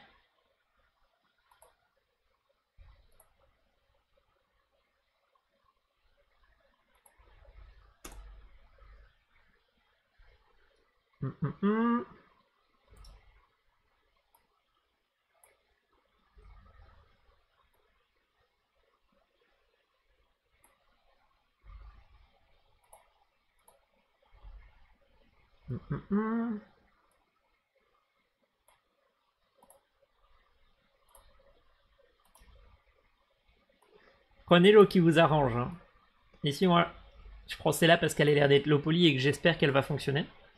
Mais euh, si vous, celle-là, elle vous arrange mieux, vous prenez celle-là. Si vous, celle-là, elle vous arrange mieux parce qu'elle est magnifique, prenez celle-là. Est-ce qu'elle est en URP, celle-là? Mon avis, il a sûrement dû prendre le temps de la mettre en URP. URP. Think this asset is I know it doesn't support URP, so maybe better to put in information, but compared to URP, they are actually not that many good water. Oui, Voilà, donc celle-là elle fonctionne pas en URP, mais je suppose qu'il y a moyen de l'adapter. Alors, on va essayer de voir pour euh, celle-là où j'y crois plus parce que c'est juste bouger des triangles. Donc, est-ce que notre projet s'est rouvert? Oui. Projet s'est rouvert. Maintenant, qui possède les, les touches, on va voir ce que ça donne. Voilà. Donc, on a une explosion. On a cette explosion-là. Ça, c'est des petites explosions. Ça, c'est le feu qu'on cherche. On va devoir chercher après CFXR Fire. Ça, c'est ça explose. Ça, c'est des trucs magiques. Pouf. Oh, c'est beau. J'adore les particules. Faire des, particules comme ça, il faut être très créatif. Même si ça se fait facilement.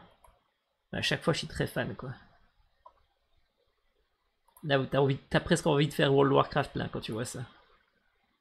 Waouh C'est magnifique.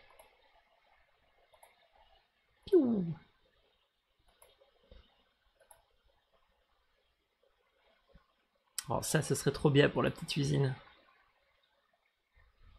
Oh, des lucioles. Donc ça, c'est ambiance glow. Ça, c'est de la pluie. Magnifique. Si vous voulez de la pluie, vous pouvez mettre ça. Boing, boom. Cursed, poisoned.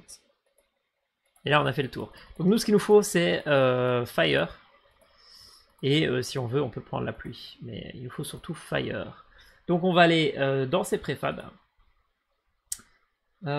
Ici, préfab fire. Et ici, on a fire. Donc on va arrêter sa scène. Décharger sa scène. On va charger la nouvelle. Donc ça, c'est la nôtre. Décharger la sienne. Voilà. On va se mettre à côté du campement. Ici. Et on va mettre un petit feu. Ah zut.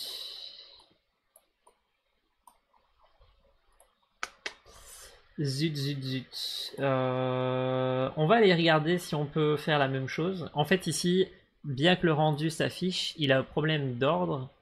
Et en fait, il s'affiche derrière l'objet 3D. Et je crois que c'est pas que euh, dans, dans l'éditeur, ce sera aussi dans le jeu. Ici, il est bien mis. Ça donne quoi au niveau de la caméra si je la mets correctement? Donc, si vous voulez mettre votre caméra correctement, vous la mettez là où vous espérez la mettre.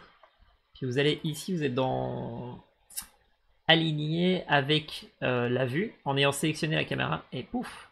Ok, donc là il y a un bug graphique dans l'éditeur, mais dans le jeu ça rend, euh, il y a le feu correctement. Bon, c'est pas idéal, mais euh, ok. Alors du coup ici, euh, une particule de feu, vous allez voir que c'est composé de plein d'ensembles. Ici, si lui je le désactive, voilà, comme ceci, le temps de vous montrer. Vous voyez que ce feu-là, en fait, il est composé d'un truc qui gère la fumée. Ici, si je descends un petit peu tout ça, voilà, on a en fait une émission de fumée. Donc ça, c'est le particule système qu'on appelle shuriken. Il permet de gérer les couleurs, de gérer à quel point il y a du feu ou pas, dans quel cône. Et alors là, vous voyez l'angle du cône. Si je le fais comme ceci, vous voyez que là, les petites particules de feu qui font des étincelles, elles vont dans tous les sens. Alors qu'avant, elles allaient plus vers le dessus. Maintenant, si le feu, je veux qu'il aille dans tous les sens, je vais aller dans émission, shape, et je vais le mettre comme ceci. Et vous voyez que maintenant le feu va partir dans tous les sens. Si je voulais que ce soit une ligne un peu plus droite, comme ceci. Voilà. Pareil pour le feu, maintenant le feu, vous voyez que c'est à poil lumière qui fait flou flou flou. Alors attention que à poil lumière ça émet de la couleur, donc ça émet des, ressources et donc des draw calls. Mettre un feu dans votre jeu qui émet de la lumière, ça coup à perdre beaucoup de performance. Hein. Donc ici, euh, moi les lumières je vais les désactiver parce qu'elles sont trop. Et alors donc il a le feu, les petites étincelles et ici le feu. Et vous allez voir que le feu il est un peu particulier. Euh, il a une shape, comme, pour les précédents, comme pour les précédemment. Il a un nombre d'émissions qui est euh, ici. Vous voyez que ici, si je mets une émission de 1, ça veut dire qu'il émet que un seule fois. On voit qu'il émet une texture et puis elle disparaît. En fait, le feu n'est composé que d'une seule, que de deux carrés. Ici, vous voyez qu'il y a deux carrés, un comme ça, un comme ça. Et ces deux carrés grossissent puis disparaissent. Et là, il n'y en a qu'un seul. Donc si je vais voir... Maintenant j'en mets 12. Maintenant si je vais voir son matériel, il va ressembler à un truc un peu bizarre. Vous voyez Animated Light. Ça c'était pour la lumière, pour l'animer avec. Nous c'est pas Animated Light qu'il faut. Vous voyez qu'ici il a rajouté un script d'effet qui va un peu gérer le tout. Généralement on met des particules puis on fait un script ou deux pour pouvoir gérer tout ça. Moi ce que je veux chercher c'est son rendu graphique. Ici vous voyez son matériel. Tadam en fait, son matériel, ici, comme vous pouvez voir, c'est une texture qui va changer de, forme, soit par du code, soit par un défilement de plein de petites images. C'est peut-être plus parlant si je vous montre euh, sur Internet. Si je fais euh, Fire Sprite, comme ceci, Ça, c'est un feu, donc on fait passer de là à là, à là, à là, à là, puis on le fait garder sa taille, et puis on le fait diminuer. Donc on a l'animation de départ, l'animation de maintien et l'animation de, disparaître. Et si on les fait aller vite, on a l'impression qu'il y a du feu. Et c'est ça que vous voyez ici. Chouette, hein? Ok. Bien. On a notre feu, on a notre, euh, notre décor. On va désactiver la lumière ici. Il nous faut notre magnifique moulin. Pourquoi est-ce que je voulais vous montrer un moulin? Dans le workshop, je vous disais qu'on allait tester un peu ProBuilder, apporter un asset ou deux, voir ce que c'est des particules, c'est ce qu'on vient de faire. Et après, je vous disais, ben, on va essayer d'apporter ces deux objets-là. Celui-là parce qu'il est parfait, et celui-là parce que euh, il est trop lourd. On va essayer de télécharger celui-là. Si je clique dessus, voilà, vous allez voir qu'on a un magnifique moulin. Et ce moulin, on le veut. Il est en CC. CC, ça veut dire qu'on doit, créer, doit créditer la personne, donc c'est Creative Commons.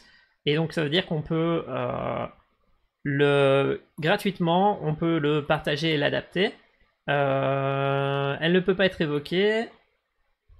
Under the following condition, attribution, donc on doit dire assez euh, avec crédit assez grand proportionnellement à son utilisation, qui a créé cet asset là.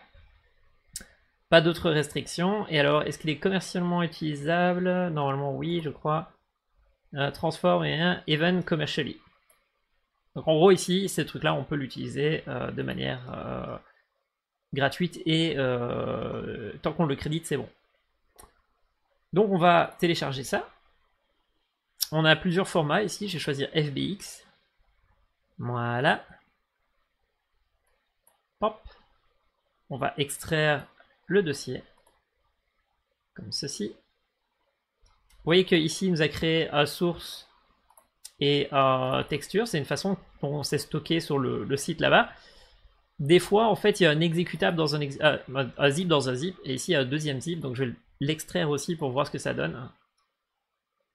Voilà, et vous voyez qu'ici on a nos textures et notre objet 3D. On va prendre ça et on va aller euh, le copier dans Unity.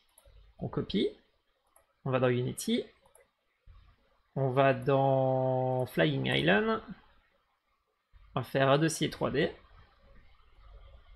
Voilà. Dedans, on va créer un petit dossier qu'on va appeler apporter. Hop. Un petit dossier qu'on va appeler 1000 pour euh, mouler avant. On va copier 1000 dedans. Puis ce qu'on va faire, c'est qu'on va prendre le lien de Sketchfab, le mettre ici, source.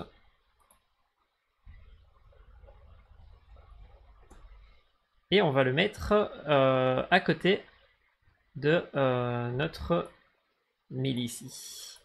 Comme ça, on a toujours la source de départ parce que on va oublier d'où on l'a pris et donc oublier qui on doit créditer. Donc ici, on peut pas l'oublier. Ok, on a notre moulin, on a les textures, mais il n'y a pas de préfab. Bah oui, parce que il n'a pas été fait pour Unity, il a été fait pour de la 3D en général. Donc ici, il va falloir qu'on crée notre préfab. On crée un point qu'on va appeler 1000 préfab. On le met en 0,0, comme ceci, ou, ailleurs, hein. mais pour l'instant on le met en 0,0. On dépose notre moulin à vent dedans. Voilà, il est là notre moulin. Et vous voyez que là, il n'a pas de texture qui est collée dessus. Donc on va prendre celui dont on pense que c'est la texture. Donc ça, ça a l'air d'être pour euh, cette partie-là. Et ici, il y a A cube, A cube. Vous voyez qu'il est composé ici de ce cube-là, de apparemment la porte pour pouvoir la bouger si on a besoin, et euh, de l'hélice qui est là-bas. L'hélice, il a réussi à mettre son matériel dessus, mais on va quand même euh, le remettre dessus. Hop là, comme ceci. Mhm. Voilà. Et euh, les deux autres, on va glisser le matériel du moulin dessus. Comme ceci. Parfait. Alors, est-ce que ça ressemble à ce qu'on a euh, vu là-bas? Non. On a un petit problème sur la façon dont ça s'est placé. Donc c'est que je me suis peut-être planté. Ah, ouais, je me suis planté. Hop, on va mettre ça sur celui-là et ça sur celui-là ça sur celui-là. Magnifique. Alors vous voyez que ici notre moulin, la lumière se reflète dessus et c'est pas très très très joli. Donc en gros pour pouvoir régler ça, on doit sélectionner euh, ici notre moulin et euh, on va l'appeler 1000. Et lui on va l'appeler mat 1000 late. Mat, c'est juste moi qui dis c'est un matériel, c'est ma convention à moi. Chacun a sa propre convention, mais moi j'écris juste mat underscore pour dire ceci est un matériel. Voilà. Alors le truc c'est que soit on garde le reflet doré comme ceci, mais à ce moment-là il faut euh, jouer avec pour essayer de trouver un, reflet doré qui est pas euh, si moche que ça. D'accord? Ici, voilà, on va pouvoir essayer de jouer avec, essayer de dire non mais tu reflètes un peu plus ou un peu moins, etc. Soit on garde le style sans lumière qui était à la base de cet objet-là, je crois. On va dans Universal Render Pipeline, Unlit pour dire je ne veux pas utiliser la lumière, et voilà. C'est-à-dire qu'ici il sera plus dépendant de la lumière, mais du coup c'est l'ombrage de la texture qui va tout faire. Vous voyez ici il n'a pas l'ombrage dedans, dans les bords, et c'est ça qui donne un volume 3D. Magnifique, hein? Donc notre euh, magnifique euh, mine, qui est là-bas, vous voyez, Hop là. Voyez que la flèche de devant, elle est par là. Et le point de départ, il est là au sol. Donc moi, ce que j'aimerais bien, c'est que mon moulin, il soit dans le bon sens directement, au cas où si je dois plus tard l'éditer. Donc je vais prendre le moulin, le monter un petit peu ici, par rapport à son poids de pivot. Poids de pivot qui est là-bas. Ah mince.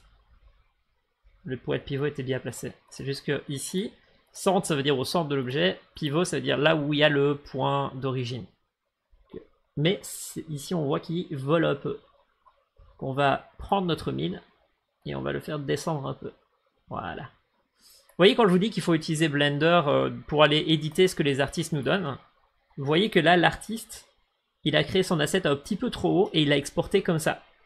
Et donc du coup, quand on le met dans Unity, bah, il vole au-dessus du sol. Normalement, si on voulait prendre ce moulin-là, il faudrait normalement aller dans Blender, prendre le point de pivot, le remonter un peu pour qu'il soit un peu plus propre l'asset pour ça que, en tant que développeur, je connais fort ces outils d'artistes, juste pour rectifier ce que les artistes euh, nous donnent. Ok, on a notre euh, magnifique euh, hélice là-bas. Et alors, il n'a pas apporté l'animation de l'objet, je crois. Si je fais play, il va peut-être pas tourner. Voilà, vous voyez que ici, le 1000, il aurait pu tourner parce que je suppose qu'il a toujours l'animation dans son objet. Euh, si je clique dessus, on va peut-être le trouver. Voilà. Si je viens ici que je fais ça ici et que j'essaie de voir 60 secondes. Voilà, voilà. Alors, est-ce qu'il va bien vouloir? Bon, il a l'air d'être cassé au niveau de l'animation. Il aurait pu, hein. Franchement, il était pas loin de pouvoir. On voit que l'animation est dans l'objet 3D. Qu'elle dure 60 secondes. Mais il va falloir travailler un petit peu pour l'utiliser si on veut l'utiliser. Ah, ordonner minimax angle, ta. C'est pas grave. De toute façon, nous, on est des programmeurs, donc on va, on va aller programmer ça. hein. Donc, on prend notre 1000. On la déplace au-dessus de la montagne. Comme ceci. Et nous, on la veut un peu plus grande. Ah oui, j'ai oublié de la remettre euh, dans le bon sens.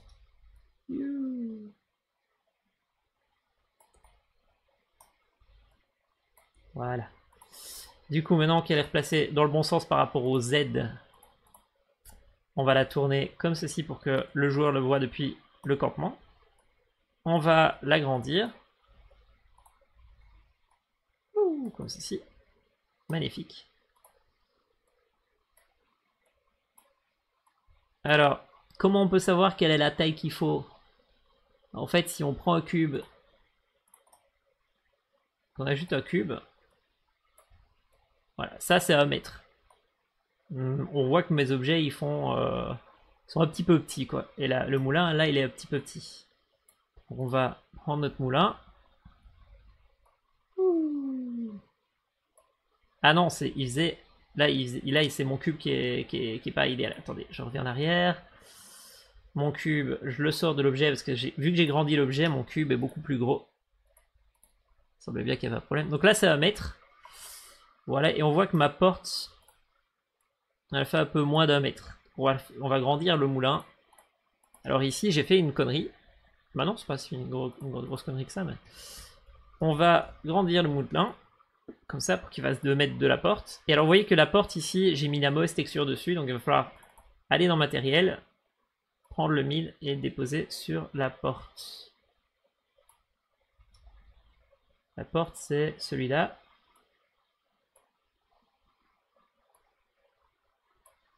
Ok, voilà. Tadam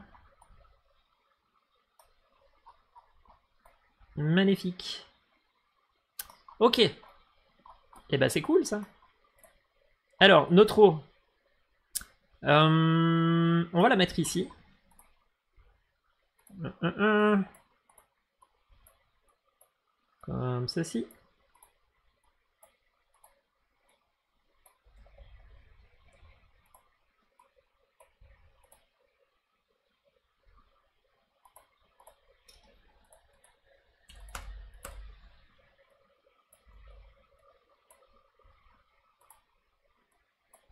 Voilà. Alors, notre magnifique eau, ce qu'on va faire, c'est qu'on va l'ajouter ici. On va remettre ProBuilder, donc Windows, Tool, ProBuilder, ProBuilder Windows. Hop là, on va le mettre ici. On veut dire qu'on veut du polyshape. Allez, de là, à là, à là, à là, là, là. Comme ceci. On va l'extraire. Hop. On va faire extrude. Alors il faut sélectionner les faces, cliquer sur la face, extruder.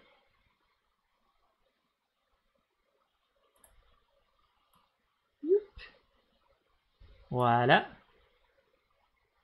On va euh, la descendre dans le sol, l'objet comme ceci. Et puis on va faire un euh, boléen. Sauf qu'on veut qu'il y ait un petit peu de bordure, donc on va prendre la face ici. Voilà. On va l'agrandir, comme ceci. Comme voilà. Et on espère que ça va pas casser tout ça.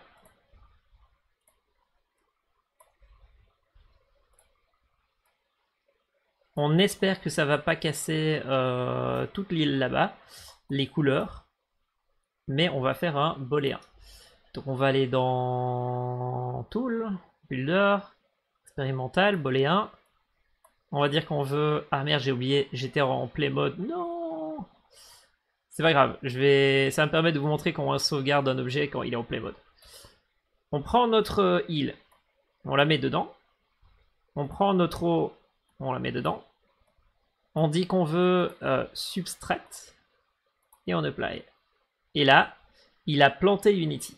Alors, vu qu'il a planté Unity et que j'ai peut-être pas bien sauvegardé, on a sûrement perdu énormément de notre travail. Et la raison pour laquelle il a planté Unity, c'est parce que j'étais en play mode. Ça veut dire que j'étais dans le moment où on joue le jeu. Et il a sûrement dû vouloir sauvegarder un fichier et en play mode ça ne l'a pas laissé, ça a craché et on s'est retrouvé dans cette situation. Pas idéal du tout. On va voir ce qu'on va, va récupérer.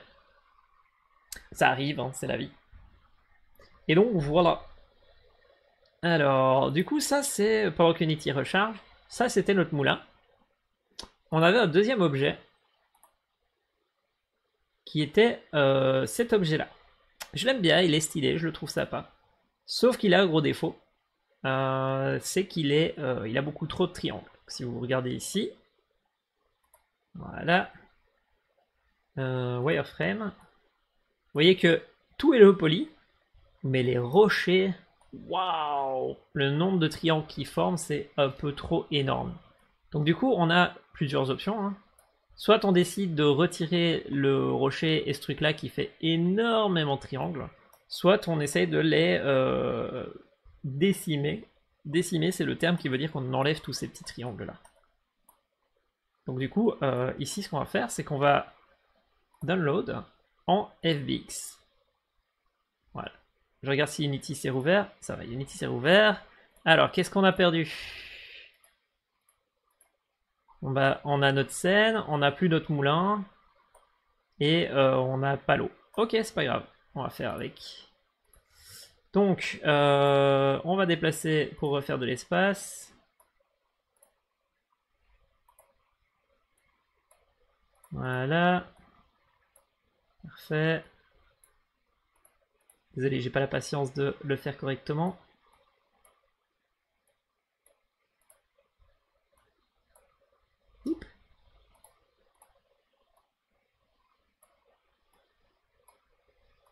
Voilà. On sauvegarde. On demande d'avoir notre outil. Euh, Pro Builder Windows. On va redemander d'avoir notre poly.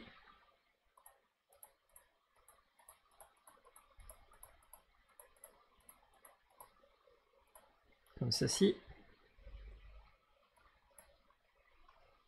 Voilà. Ça, on va vouloir prendre la face et l'extruder. Extrude. Comme ceci. Voilà. Notre objet, on le monte. Vous voyez qu'on n'a toujours pas le trou d'en dessous là. Euh, on peut par exemple reformer le trou d'en dessous en espérant que ça pose moins de problèmes par la suite.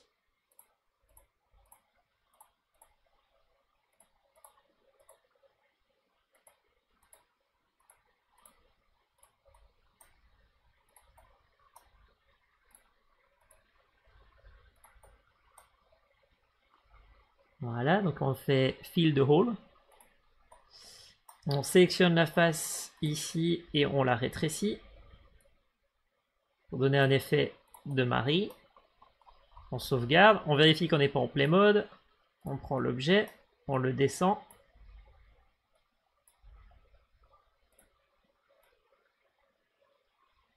Si. Voilà. On sauvegarde et on essaie de le faire en espérant que ça recrache pas. Alors, pour être sûr que ça ne crache pas, si jamais ça recrache, on, va tout reperdre. Pour enregistrer la scène réellement, il faut changer de scène. Une fois que vous changez de scène, vous êtes sûr et certain que ça va sauvegarder la scène. C'est pour ça que je change de scène et que je reviens. Ça, je suis sûr et certain que c'est sauvegardé. Alors, on va prendre notre outil expérimental. On va rajouter notre euh, magnifique décor notre magnifique marée. On va dire qu'on veut subtract et on va apply. Et voilà, ça a encore craché. Donc du coup, Est-ce qu'il faut utiliser ProBuilder Oui. Est-ce qu'il est parfait? Non. non, non, non, non, non. Il n'est pas parfait du tout. Euh, My Little Cube, on le relance. C'est pas grave, on ne va pas mettre... euh, on, va, on va mettre l'eau différemment. De toute façon, je crois que l'eau qu'on va télécharger, elle est pas vraiment... euh, euh. C'est dommage, j'aurais bien voulu avoir euh, notre petite mare toute belle, toute propre. C'est pas grave.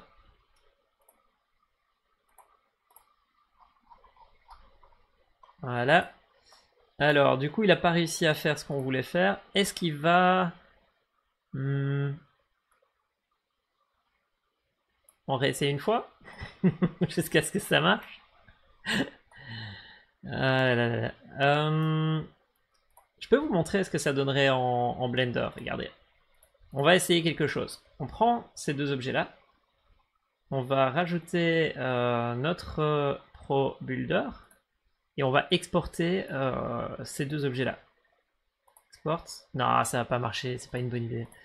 Euh, parce que si j'exporte après, quand je vais, les matériaux vont casser, ça va être chiant et tout. Tant pis, on va laisser l'eau comme ça. Notre Magnifico, on a bien appliqué euh, une texture d'eau dessus. Donc, on était en train de regarder à la base, euh, avant de regarder cet objet-là, on était en train de regarder comment importer cet objet-ci. Le problème de cette eau-là, c'est qu'elle va aller de haut en bas, et donc du coup, si j'ai pas un trou dans mon objet, ça risque de poser problème. Euh, alors que l'autre asset d'eau qu'on avait vu, qui est celui-là ou celui-là, il a l'air de mieux fonctionner parce qu'il bouge pas les vertex, il bouge pas les points 3D de, de mon eau. Du coup, la question c'est est-ce que je prends ce taux-là et que je me dis c'est bon? Ou est-ce que je prends l'eau qu'on a vue ensemble et que bah tant pis si ça bouge? Euh, Celle-là elle est trop belle, c'est dommage qu'elle marche pas en URP. Grave, on va prendre l'eau qu'on avait prévue. Donc tantôt on a fait importer l'eau euh, dans Unity. Donc te- techniquement ici dans mes assets il doit y avoir de l'eau, water. Voilà. Euh, où est-ce que vous le voyez? L'eau polywater, j'en ai plein. C'est tous les assets que j'ai, donc il y a des. Apparemment il y en a que, que j'ai et qui sont euh, d'anciennes versions. Euh, on va essayer celle-là, l'eau polywater. Je crois que ça doit être celle-là qu'on voulait, mais si c'est pas là, c'est là, tant pis. Comment je peux savoir que c'est celle-là? Je fais euh, public, publisher website et il nous envoie euh, sur l'asset store. Ouais, c'est cette eau-là qu'on essayait de mettre. Ok, donc là j'ai fait apporter. Apporter, il va nous le mettre dans l'eau polypack.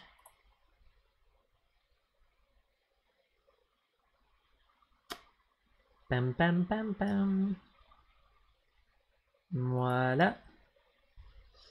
Le polypack euh, ici. Voilà. On va aller voir sa démo pour comprendre comment ça marche. Donc il doit avoir normalement une démo. Voilà. Donc voilà à quoi ça ressemble son low polypack. Et on peut voir qu'il n'est pas prévu pour URP. Les shaders ne fonctionnent pas.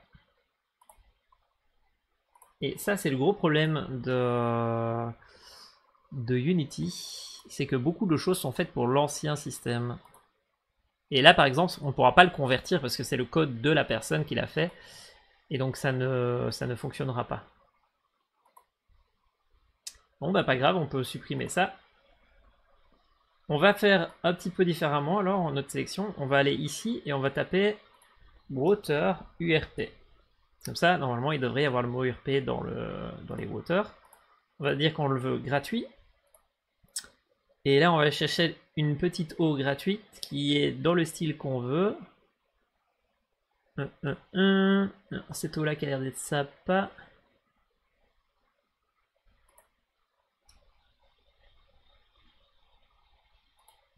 Celle-là, elle n'est pas assez cartoonesque, mais elle pourrait passer. Celle-là, elle est très jolie. Euh, Est-ce qu'il est bien mis URP Oui, il est mis URP, donc on va utiliser celle-là. Donc on va ajouter l'asset. Donc on l'ajoute à notre portefeuille d'assets. On ouvre dans Unity. on dit qu'on veut apporter sur notre ordinateur. Une fois qu'il aura apporté sur notre ordinateur, alors vous voyez que là, ouf, il est beaucoup, beaucoup, beaucoup plus lourd. Euh, cet asset-là est composé de plein, plein d'assets. Euh, il est composé de euh, beaucoup, beaucoup, beaucoup, beaucoup d'assets. Et donc du coup, il est très, très lourd.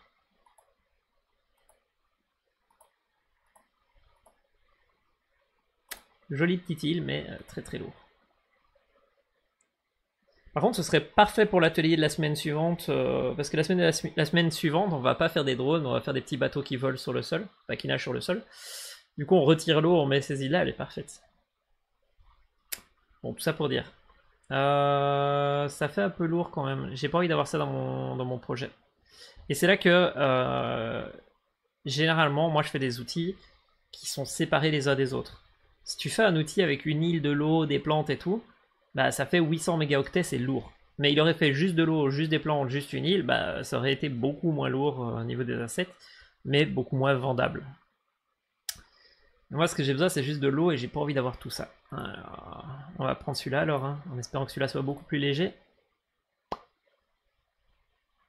Voilà, Open in Unity, télécharger, 219 mégaoctets. Quoi? Qu'est-ce que t'as foutu dans ton asset Jamais de la vie, euh, une eau, elle fait 200 mégaoctets. Package contents. Mesh, water prefab. Je suppose que ces textures sont énormes ou un truc comme ça. Ah, c'est le Terra. Ok, il a fait un énorme terrain, je suppose, et euh, comment il fait pour faire 219 quoi? Bon, ben on va retourner à notre recherche.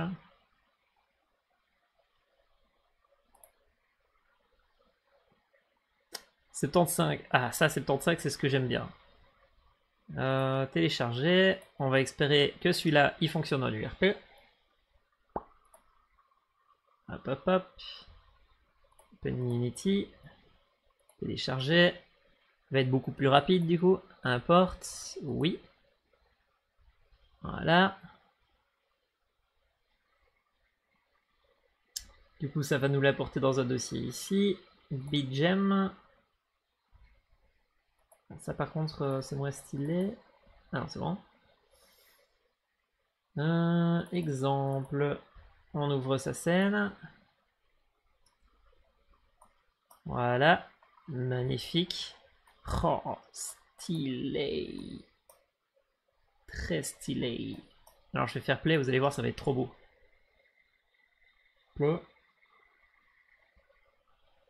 Oh, c'est joli, c'est joli. Oh. je me pose la question de savoir si quand on met la caméra dedans, il a, il a, fait, il a fait de code pour. Non, il a pas fait le code pour quand on est dans la caméra, mais c'est déjà euh, magnifique qu'il ait fait ça, quoi. Ici, il faudrait faire un code que quand tu mets la caméra dedans, pouf, ça devient bleu. Et euh, ce serait magnifique. Oh, c'est trop cool Ok, ben on va prendre celui-là. Donc, pour pouvoir mettre ça, tout ce qu'on a besoin de faire, c'est de mettre euh, water volume pour du volume. Oh, il y a du bruit d'eau en plus. Water volume, ah non, volume, voilà, water. Volume height, donc basiquement, il faudrait mettre ça dessus. Euh, il faut mettre ça dessus qui est le matériel d'eau. D'ailleurs, il en a plusieurs d'exemples. La différentes eaux. Si je mets d'autres eaux, ça va faire quoi? Euh, Papapam, volume, tatata, water, Là, ça fait une eau un peu plus, un peu plus calme, un peu plus brunâtre noir. Et ici, un peu plus, euh, on voit pas à l'intérieur. Ah, je préfère quand même la première version. Hein. Elle est trop belle sa première version. Ok. On va essayer tout ça. Donc, euh, on va copier son eau dans notre scène et puis on va essayer de l'appliquer à notre euh, objet. Ça va peut-être pas marcher. Hein. Euh, parce que je sens venir un certain coup venir, on va voir. Donc ici, notre eau, elle est ici. Voilà, donc on va prendre euh, notre euh, objet là-bas, le mettre ici, décharger sa scène, ne pas sauvegarder. Voilà, comme ceci. Sur ça, on va devoir mettre le matériel de son eau. Exemple 1, comme ceci. Voilà. Et sur exemple A, il va falloir qu'on euh, mette son script qui est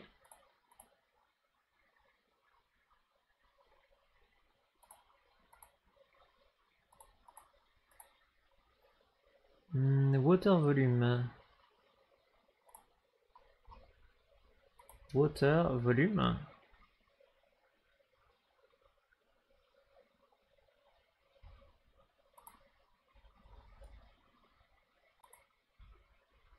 Water volume transforme.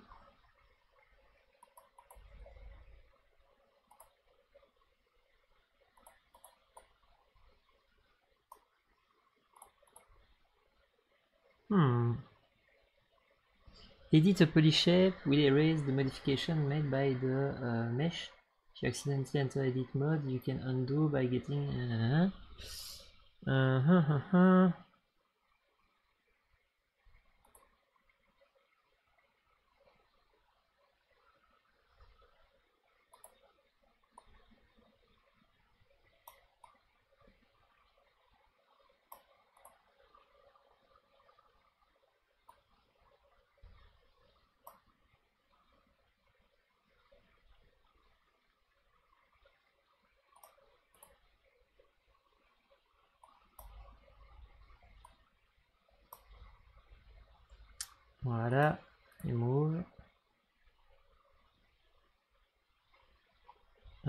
Euh, water transform. Hmm. Ah, c'est parce qu'il est...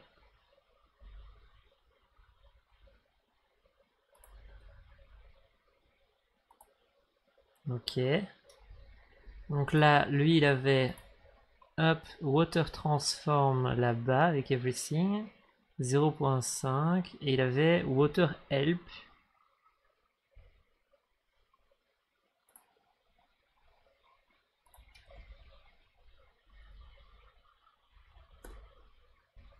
Voilà, water base, c'est ceci. Show debug non.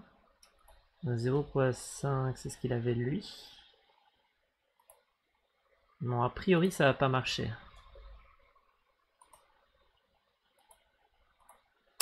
En fait, ce qui se passe, c'est qu'il y a deux suppositions que je fais.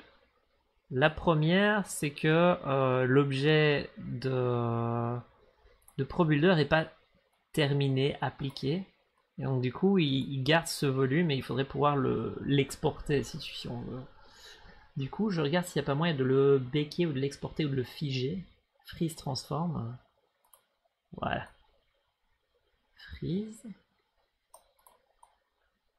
Freeze, à mon avis, c'est pour dire c'est bon, tu, euh, tu ne le bougeras plus.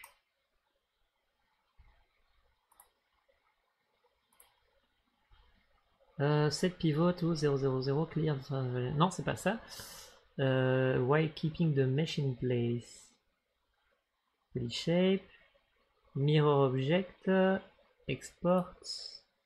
Bon, ça c'est si on veut le mettre en OBG. Ok, on va dire que c'est bon comme ça.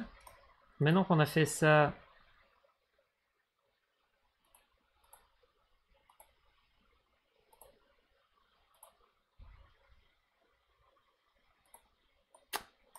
Non. Alors j'ai peut-être une autre solution. Un peu plus débile. Euh, est-ce qu'on peut l'éditer avec ProViewer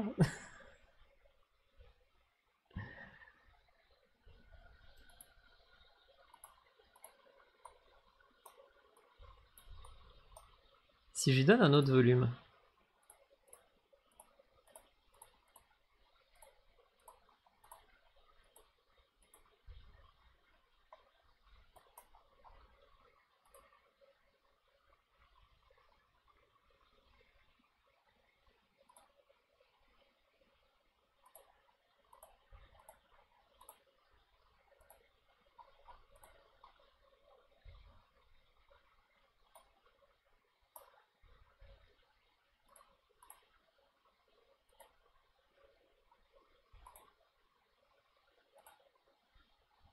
Voyez qui bouge en fait les, les triangles au niveau du rendu. C'est juste la texture qui s'applique pas correctement, mais il les bouge.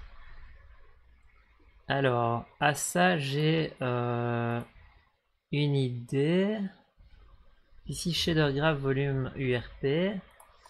Donc, ici, si. Je prends... Je réfléchis, hein, c'est la euh, première fois que je le fais, donc euh, j'essaie de comprendre un peu ce que je dois faire pour que ça marche.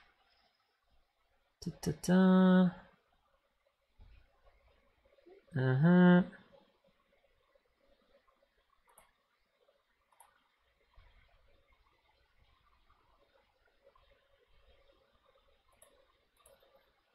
Cube.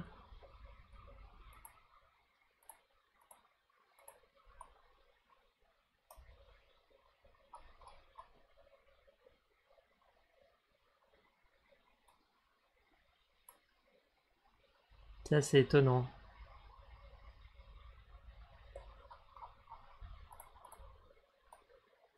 Je ne sais pas pourquoi ça ne marche que dans, le contexte de son cube. Hmm. C'est dommage parce que c'est super beau. Il faut juste comprendre ce qui se passe. Alors, des fois, il faut lire le manuel. Donc, je regarde s'il n'y a pas euh, un manuel. Ça n'a pas l'air. Généralement, la démo, c'est le manuel. Scene, Script, Shader, Triangle, Water Volume triplanar, texture.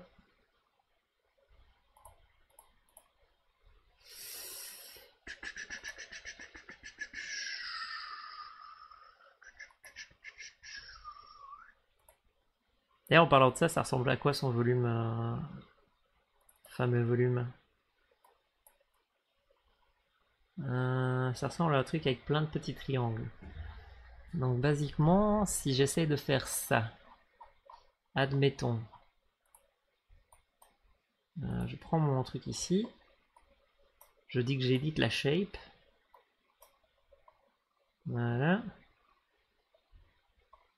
je vais, euh, alors éditer la shape ça va pas bien fonctionner parce que il me l'a encore pété. Ce que je vais faire, c'est que cette, forme-là, je vais l'exporter en euh, polyshape water polyshape comme ceci dans bureau. Je vais la supprimer d'ici. Et puis euh, je vais aller la déposer du bureau à là dedans. Pour qu'en fait ils perdent la notion de ProBuilder Voilà.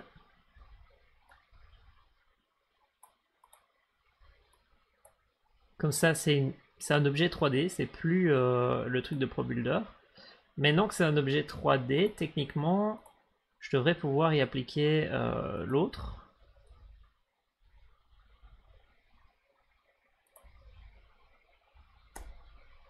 Voilà, donc là on peut voir qu'il commence à bouger. Par contre, euh, la couleur, c'est toujours pas appliqué dessus. Euh, et alors la couleur, à mon avis, c'est dû au fait que la le texture, l'UVMap est pas terrible.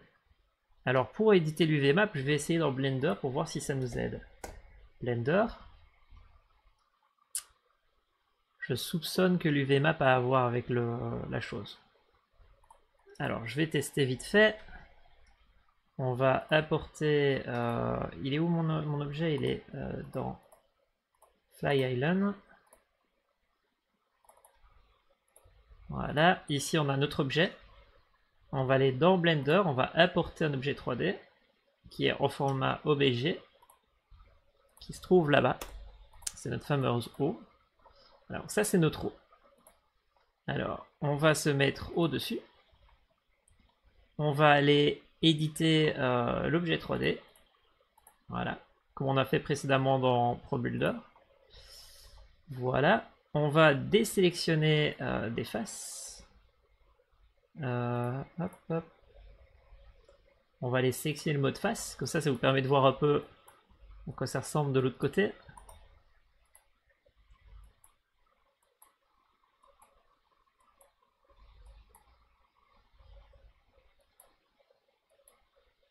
J'essaie de le désélectionner. Hein. Hein.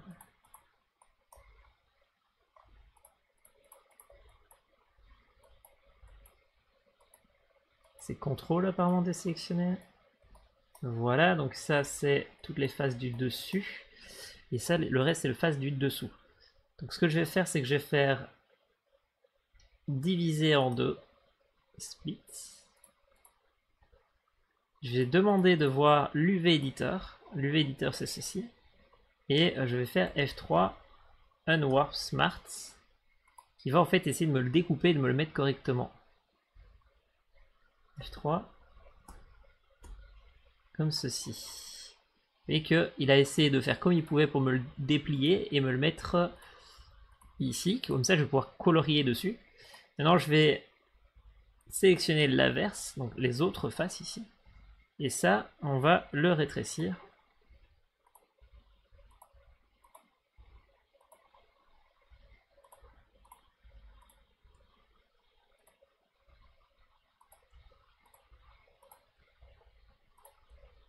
Je suis pas sûr que ça va fonctionner, hein. j'essaie juste de voir si euh, on peut pas le faire fonctionner.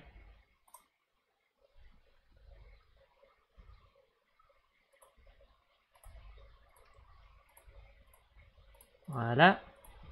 On sauvegarde euh, en exportant en OBG. On l'exporte où? Bah, Sur notre objet en lui-même, on écrase. Et on va voir dans Unity ce que ça donne. Donc on a notre objet maintenant qui est ici. Ça n'a pas l'air euh, d'avoir changé grand chose. À part le fait que maintenant je peux dessiner dessus, ça n'a pas, l'air d'avoir changé grand chose. Là par contre la deuxième eau elle a l'air de fonctionner. Bon bah on va utiliser la deuxième eau alors. Hein. Donc voilà, en fait ce qui se passe ici, ce que j'ai fait, c'est que j'ai juste permis de dessiner sur l'objet. Euh, parce qu'en fait ici, c'est ce qu'on appelle un dépliage. En gros, je suis en train de dire, hey, tu vois là-bas, j'aimerais bien pouvoir dessiner ici. Donc euh, je vais en edit mode, je dis, hey, tu vois cette face-là, je la veux là-bas. Cette face-là, je la veux là-bas. Ce qui veut dire que si je dessine là, je dessine sur l'objet là-bas. Et en fait, vu qu'on peut dessiner que sur un plan 2D, on fait ça pour pouvoir dessiner en dessous de l'objet, sur le côté et sur le dessus. Et c'est comme ça qu'on fait pour dessiner sur des objets 3D. Euh, et donc voilà, et ça, ça va permettre à lui de dessiner là-bas. C'est pour ça qu'ici on voit les vagues sur le côté et que sur le, là il a un peu plus de mal. Bon bah ça nous va comme autre comme haut ça. On va se contenter de ça. On va faire un petit point, on va appeler water euh, lake. On va aller dans notre island. On va déposer Water Lake ici. Alors, 0, 0, 0. Comme ceci. On va le mettre dans un poids vide pour faire un préfab. On crée notre préfab. On crée un petit dossier qu'on va appeler Water. Water. Et on va mettre notre Water dans Water. Et puis dans 3D. Tadam voilà, voilà. Donc on va déplacer notre petite 3D comme ceci.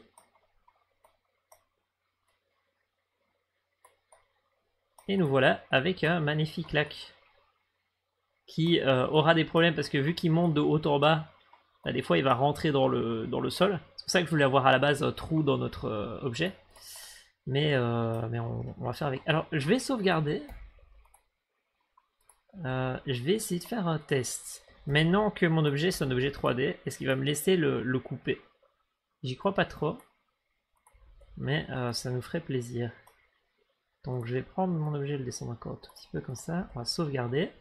J'y crois pas. Hein. Franchement, je sens qu'il va encore cracher. Mais si maintenant je fais objet, puis que je dis que je veux aller dans expérimental et que je veux faire un booléen entre ma Flying Island et euh, mon lake ici. Non, il va pas me laisser faire.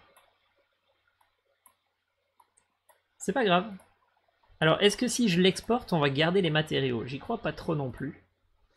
Donc, exporter. Euh, Flying Island. Dans notre magnifique projet ici, dans 3D. Aïe. Voilà, je l'exporte. Voilà. Il a l'air de l'avoir bien exporté. Donc on va Show in Explorer.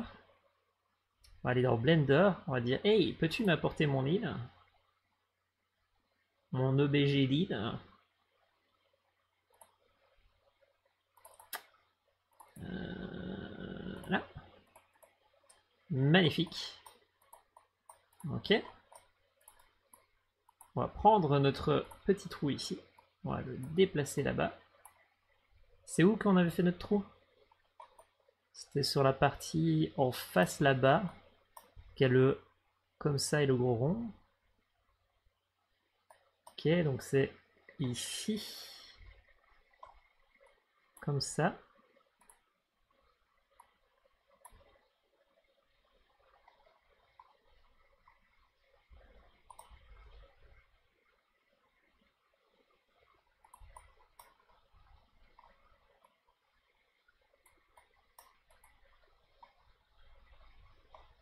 Voilà.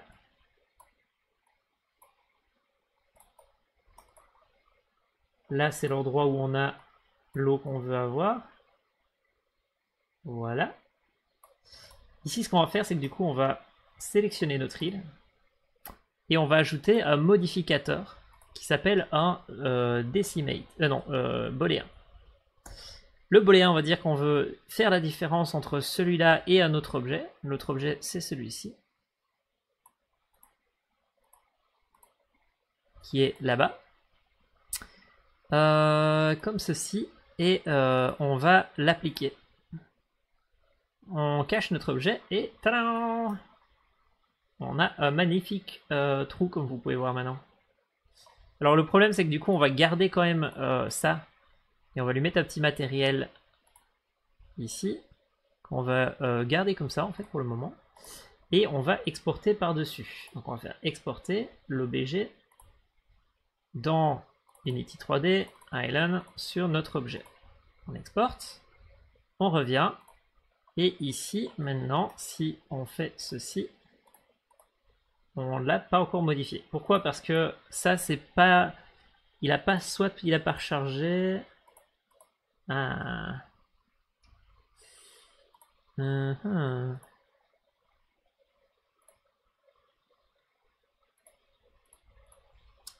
Exporter, obj, island, select only,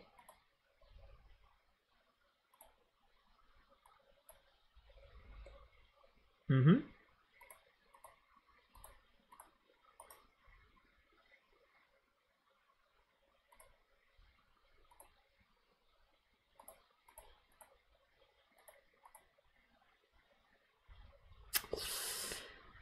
Exporter. FBX. Flying Island, 3D. Ah, c'est peut-être parce que je l'ai sauvegardé dans 3D Non. FBX. Flying Island. Voilà. Du coup, dans Unity, si je fais refresh, on est censé l'avoir.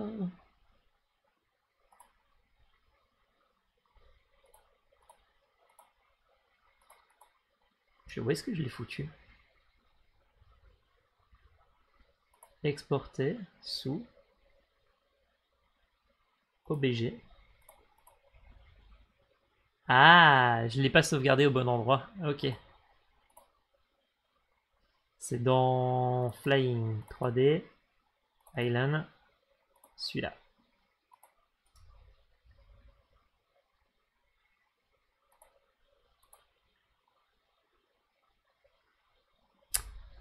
Euh, comment dire?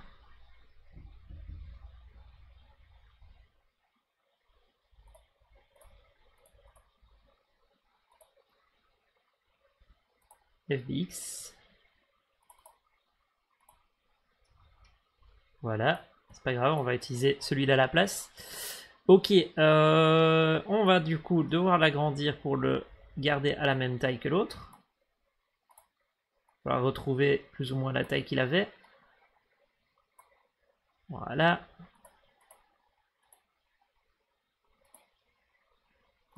Sa hauteur, est ici.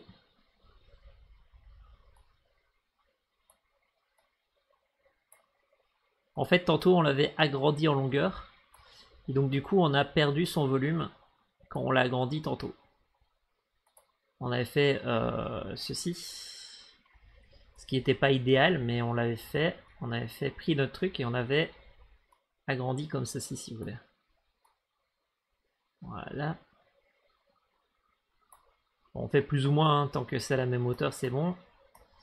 Voilà, notre autre objet là qu'on avait avant, on va le désactiver du coup. Voilà. Notre piscine, on va pouvoir l'enlever. Je l'avais gardé juste pour... Euh... Bah non, on va pas l'enlever, on va juste appliquer le, matériau de l'autre. Le matériau de l'autre, euh, c'était exemple 2. Voilà. Et ce qui se passe maintenant, en fait, vous voyez, c'est que on a maintenant notre magnifique eau qui n'est plus déplaçable.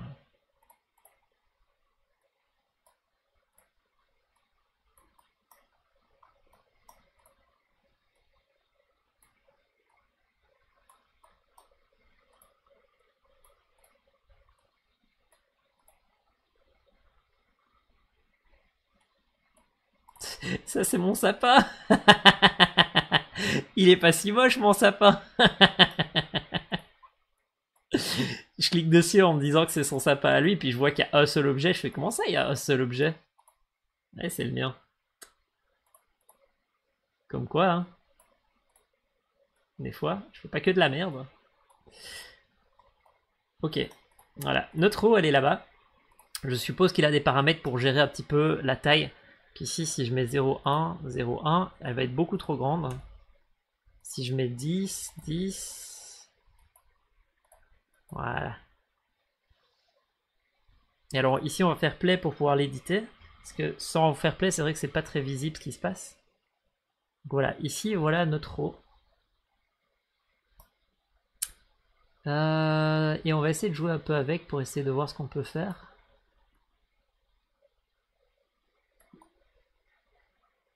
Voilà. Euh, détail.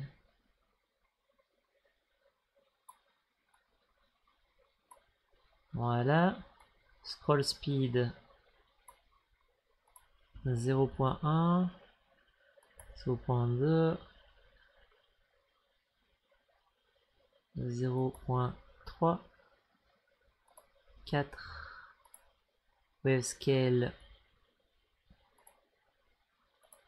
0.5 Bum strength. Alors vous voyez que ça c'est un truc qui est un peu particulier. C'est ce qu'on appelle les normal maps. En fait, dans le jeu vidéo, on peut faire croire qu'il y a du volume à un objet pour éviter d'avoir des triangles. C'est juste qu'on déforme les pixels pour vous faire croire qu'il y a du volume. Donc là, si j'ai le bon angle, on a l'impression qu'il y a du volume. Mais si je m'approche du mur ou m'approche du sort, on voit que c'est plat. Et directement l'illusion est cassée. Il y a vraiment un angle parfait, qui est souvent dans les alentours de 45 degrés, où on a l'impression qu'il y a du volume. ça, c'est ce qu'on appelle les normal maps. C'est une déformation de pixels qui te donne l'impression d'avoir du volume. Ok. Et ça, c'est ce qu'il a mis dedans. Et c'est ça qu'on est en train de, sur lequel on est en train de jouer. 0,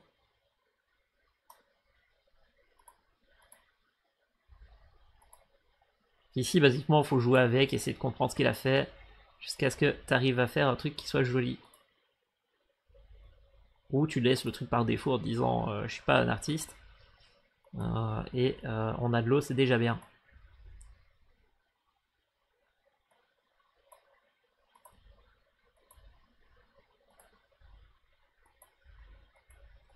Ok,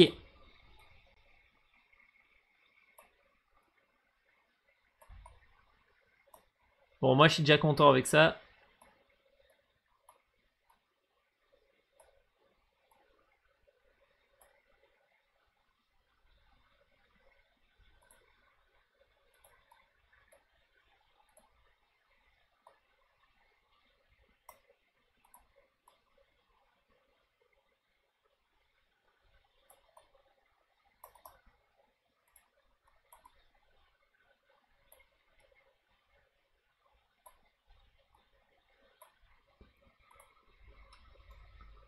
Que c'est pas du tout artiste. Hein.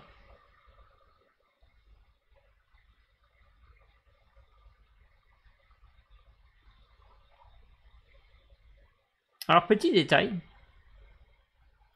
Quand vous changez un asset 3D comme ça, euh, ici dans le, dans, le, dans le jeu, quand vous modifiez un matériel, le matériel n'est pas vraiment compris dans le play mode. Donc quand je vais l'arrêter, vous allez voir qu'il va garder les propriétés. Ce qui fait qu'il faut faire attention quand vous changez un matériel parce qu'il euh, sera, sera directement appliqué. Quoi.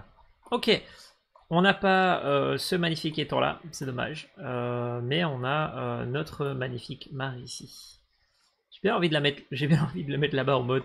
Regardez cette jolie eau qu'on aurait pu avoir euh, à la place de cette eau qu'on a. du coup, je vais quand même le laisser juste pour rigoler. Avec un gros caillou au milieu.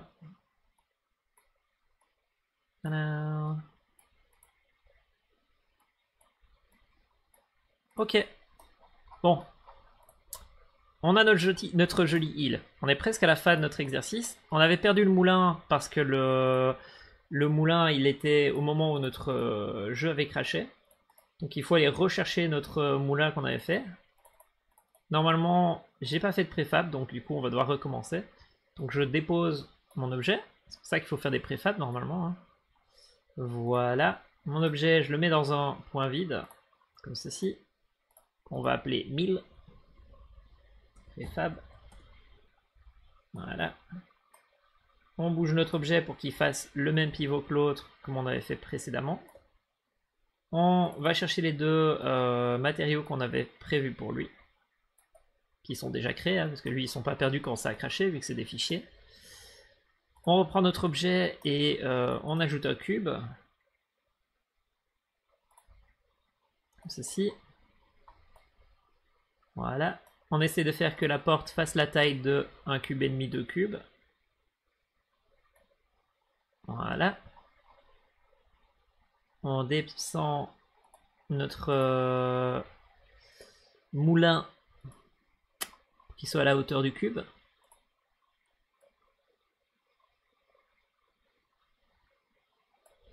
Voilà. Et on tourne ça vers le joueur. On descend le moulin dans le sol. Parfait. On met la texture euh, sur la porte. Et on a notre joli moulin. Cette fois-ci, on va en faire un préfab pour pas le perdre. Comme ça, la prochaine fois qu'on le perd, on l'a ici. Et on est content. Magnifique. Tadam Trop chouette, hein Alors, maintenant qu'on a notre magnifique île, on aimerait bien pouvoir euh, voler tout autour. Pour pouvoir faire ça, il nous faut un petit drone pour voler. On va sauvegarder. Pour ça, je vous ai préparé un asset. Donc, euh, si vous allez dans le cours, hmm, ici, on a ce petit bonhomme qui vole euh, dans, un endroit. Donc, on a le code ici du drone et le code du euh. Donc le code du drone c'est Toy Drone Telomode. On prend le lien là-bas. On va dans Unity. Ah, il faudrait que je vous fasse installer Git, sinon ça marchera pas. J'ai juste y penser. Pour que ça marche, si jamais ça marche pas chez vous, euh, c'est parce qu'on n'a pas installé Git. Euh, en fait, normalement, le premier jour de la formation, on installe les logiciels, dont Git. Et Git, euh, c'est pas GitHub, mais Git tout court, c'est ce site-là. En allant sur Git et en téléchargeant ceci, vous allez pouvoir installer Git. D'accord? Si vous voulez savoir comment on fait pour installer Git, euh, vous pouvez aller euh, sur mes cours, dans Unity pour les juniors. Ici, on va chercher Git, CMD. Ici, je vous dis de télécharger Git et euh, si vous allez voir la vidéo en question, j'ai pas mis la vidéo dans le.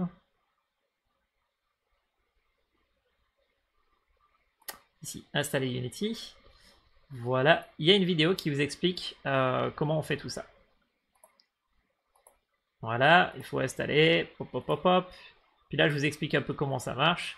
Et en fait, l'utilité d'avoir ça sur votre ordinateur, euh, c'est que ça va vous permettre d'utiliser Git sur la machine. Et c'est ce que le package manager va utiliser. Donc ici, ce qui se passe, c'est que quand vous aurez installé Git, vous allez pouvoir prendre le lien qui est là-bas, aller dans le projet, dans le package manager, ajouter un petit URL ici, et copier ça ici, là-bas. Comme ceci. Je vais le refaire plus lentement pour le second. Donc là, vous voyez qu'il regarde sur Internet, il essaie de le trouver, il l'a trouvé.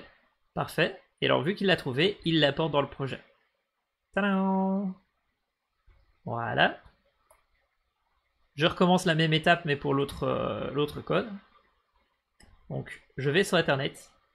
Je vais sur le GitHub que j'ai besoin, qui possède un package.json, qui veut dire que c'est un outil téléchargeable. On va sur ici et on copie ce lien-là. On retourne dans Unity.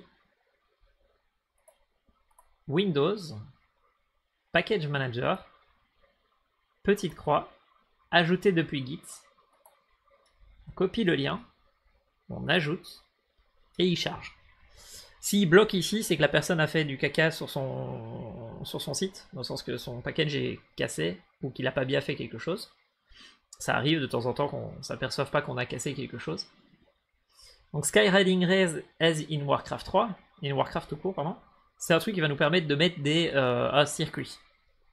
Donc ici, euh, si on regarde euh, mon exemple, donc on va sauvegarder, on va aller dans Skyriding. Skyriding, Skyriding, là. On va essayer d'ouvrir la scène et on va s'apercevoir qu'il y a un petit problème. Tac. Voilà. Hop, hop, hop. Allez, affiche le message. Euh, normalement, il y a un message qui est affiché ici. Voilà. Vous n'avez pas la permission d'écrire dessus. En fait, il faut savoir que quand on télécharge l'asset de quelqu'un, on n'est pas censé écrire par-dessus, on s'est verrouillé. Et donc ici, il me dit non, tu peux pas écrire par-dessus. Donc il faut que tu fasses une copie. Donc tu vois ici, la scène. Je vais pouvoir prendre la scène que je vous ai fournie, la déposer dans l'asset. Hop là. Et euh, vous voyez qu'on a une magnifique scène qu'on peut maintenant ouvrir. Dans cette magnifique scène, qu'est-ce qu'on voit? On voit que j'ai euh, différents points, on a des lignes entre les points, et si vous avez apporté Tello, là, le, petit truc, euh, l'autre code, vous devriez avoir un petit drone ici. Donc si je prends une manette Xbox, je vais prendre une manette Xbox, je vais faire play. Voilà. Je fais play. Je prends ceci ici. Voilà. J'ai un, magnifique drone. Youpla Vous pouvez voir. Je peux euh, foncer dans euh, des cercles. Et alors ça n'a pas marché. Tiens, ça n'a pas marché. Qu'est-ce que, qu'est-ce que j'ai cassé? Ah tiens. Euh, regardons ce que j'ai cassé. Euh, argument, texte, play.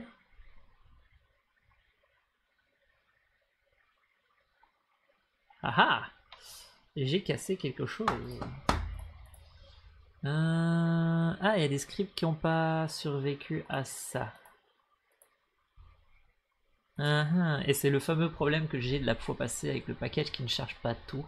Ah si, je sais ce qui s'est passé. C'est parce que euh, l'autre jour, quand j'ai fait le code, j'ai laissé un script à l'extérieur et j'ai poussé sans le script. Et c'est ça que ça crée euh, ce problème-là. Permettez-moi d'aller vite corriger ça. Euh, j'avais fait ça dans Dragon Machin, et Dragon Machin, je dois l'avoir fait dans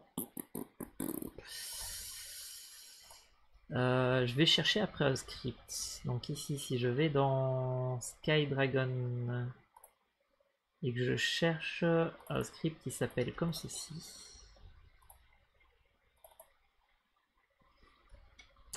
Hop, hop, je vais choper le nom et je vais aller chercher dans les dossiers euh, pour le retrouver plus rapidement. Parce que je ne me souviens plus dans quel dossier que je l'ai édité. Voilà, si je retourne dans que je recherche après ce script là. Il sera stocké dans quel dossier? Désolé, j'ai j'ai pas mis un script en ligne, c'est ça que euh, j'ai fait cette erreur là. J'essaie de la corriger. Donc il était dans un projet qui était euh, Fly Machin. Et Fly Machin, je l'ai créé dans le contexte. Pas l'air de le retrouver.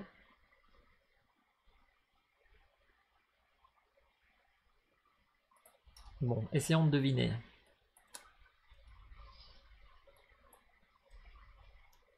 Je l'ai créé il n'y a pas longtemps. À mon avis, c'est dans Q-Teaching. Soit dans Q-Teaching, soit dans P.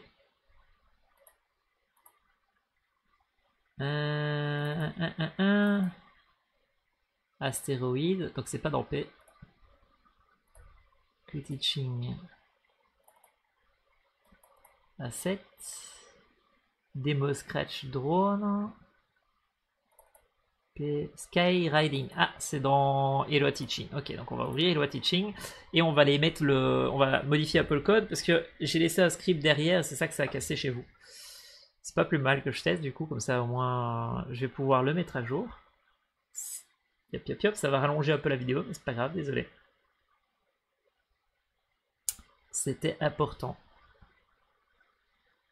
Donc on va ouvrir euh, mon ancien code, on va le mettre à jour et on va voir si ça le répare de ce côté-ci.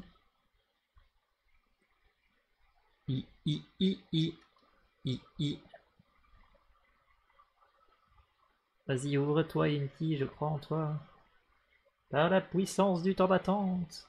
Généralement, c'est dans ces moments-là que je vais euh, faire un jeu sur Scratch. En attendant que ça s'ouvre. Bon, en attendant que ça s'ouvre. Euh... Basiquement, où on en était. On a fait notre petite île, on a mis 2-3 arbres, on a mis un peu d'eau, on a mis un petit moulin avant. Euh, là, on est en train de mettre le petit dragon en forme de drone et le circuit. Euh, et donc voilà, on a, on a fait une belle belle journée. C'est assez classe tout ce qu'on a fait ici. Bon, c'était un petit peu brouillon du fait qu'il y avait 2-3 trucs où ça allait pas. Mais il est Alors, euh, c'est bon, il vient de s'ouvrir. Ok. Qu'en fait, l'autre jour, nous avons fait un petit drone comme ça qui bougeait de, gauche à droite dans un projet. Et c'est dans ce projet-là que j'avais fait euh, le projet ici de euh, Dragon. Mais j'avais un script qui se baladait et je ne l'ai pas mis en ligne. Donc ici, je vais le mettre en ligne grâce à mon outil qui permet de le mettre à jour. Je vais vérifier que sur le serveur, il a bien été poussé. Oui, il a été poussé. Du coup, je vais revenir ici et je vais mettre mets-toi à jour, package manager, mets-toi à jour, petit script de, de Riding Race Warcraft. Et alors là, normalement, s'il y a toujours des problèmes de script qui manquent, à ce moment-là, c'est un autre problème que je dois régler. Mais normalement, ici, le script en question devrait être là. J'attends de voir.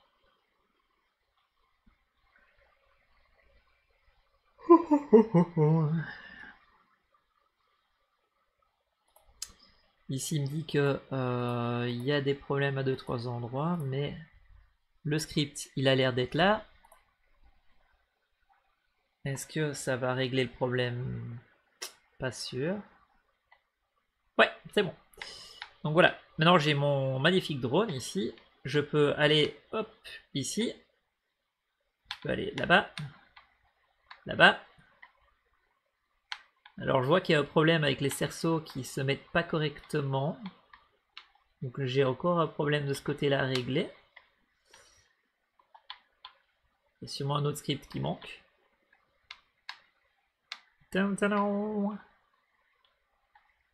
Et... Et voilà. Donc ici on peut voir que euh, j'ai passé de point en point. Et euh, ici, on peut voir que dans mon race checker, j'ai un score de 32 secondes euh, pour faire tout ce circuit-là. Donc il y a des choses qui n'ont pas fonctionné, que je vais devoir réparer d'ici le moment où on fait l'atelier, mais l'idée est là. Ok, donc maintenant qu'on a ça, hop hop hop, on va pouvoir prendre cet objet ici, et on va pouvoir le euh, mettre dans notre scène. Donc ici, on va prendre, notre Flying Island. On va euh, dupliquer cet asset là, donc euh, on va le copier. Voilà. Copier, coller. Je vais le mettre dans Flying Island, comme ceci. Player Checker aussi. Donc on va les mettre tous les trois. Je vais pas le copier-coller, je vais directement le déplacer pour pas casser les liens. Décharger la scène pour ne pas euh, sauvegarder par-dessus. Et maintenant, on a notre magnifique parcours. Donc ce magnifique parcours, maintenant, je vais pouvoir yop, yop, yop, prendre euh, le parcours. Je vais le mettre en 0,0 pour être sûr, c'est bon. Et alors ici, dans le parcours, il y a normalement euh, des, petits, des petites boules là-bas. Voilà. C'est les checker points. Les checker points, c'est par où on doit passer. ici, si je prends ce checker point là et que je le mets là, comme ceci, voilà, puis l'autre ici,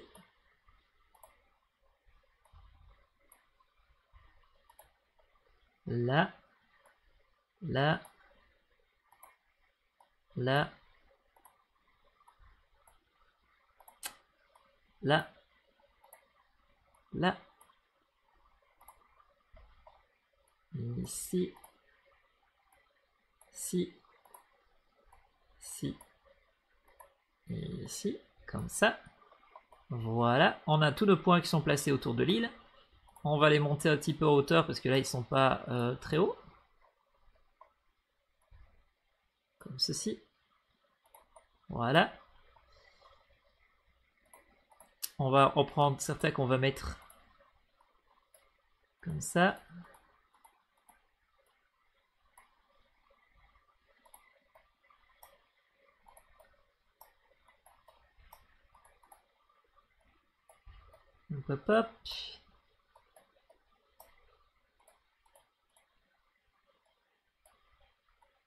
Voilà.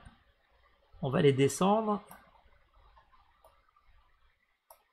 Celui-là. Celui-là. Celui-là. Celui-là. Je vais les descendre un petit peu. Ça, il est obligé de venir vers la carte. Voilà.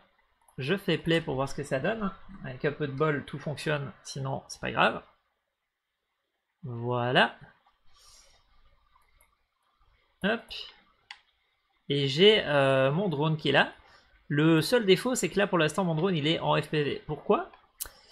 Ben, Parce qu'en fait, ce qui se passe, c'est que euh, on a une caméra ici euh, à nous. Et cette caméra-là, ici, vous pouvez voir que c'est celle que nous, on utilise. Sauf que lui, pour son drone, il a mis une caméra sauvegardée. Load. On peut voir que lui, il a mis une caméra ici qui suit le drone. Donc ce qu'on va faire, c'est qu'on va copier sa caméra, la mettre dans notre jeu. Comme ceci. Retirer la caméra, enfin retirer la scène sans sauvegarder. Et euh, vous voyez qu'ici, il avait un objet sur, sa caméra, il avait un script qui dit je suis tel objet. Je suis qui? Je suis ce drone-là. Voilà. Maintenant qu'on a une caméra dedans, on va euh, rechanger sa couleur parce qu'on aimerait bien que la couleur soit soit noire. En fait, la raison pour laquelle elle est noire, c'est parce que quand vous faites de la réalité augmentée, le noir ça veut dire c'est là où il y aura le vrai monde. Donc techniquement, je dois le laisser en noir. Mais là, vu qu'on n'est pas en réalité augmentée pour le moment, je vais le mettre en bleu pour que ce soit un peu joli. Ok. Voilà. On, a, on retire ma caméra à moi parce que du coup on n'a plus besoin. On sauvegarde, on fait play. Pop hop. Voilà, je mets ma manette Xbox qui n'a plus de batterie. comment ça se fait que je tombe tout le temps à, batterie, court de batterie? Euh, Je cherche un câble, je reviens. Il me faut un câble classique.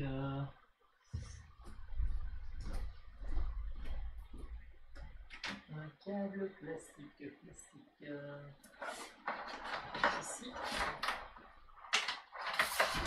Sans bien. Hop.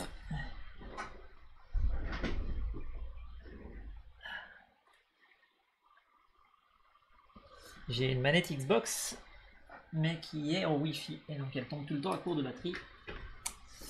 Et elle est branchable sur le câble, mais il faut avoir le câble. Voilà. J'ai ma manette, j'ai mon drone, et je vais pouvoir voler avec mon drone. Vous voyez que là, mon drone, il est pas très très rapide par rapport au jeu.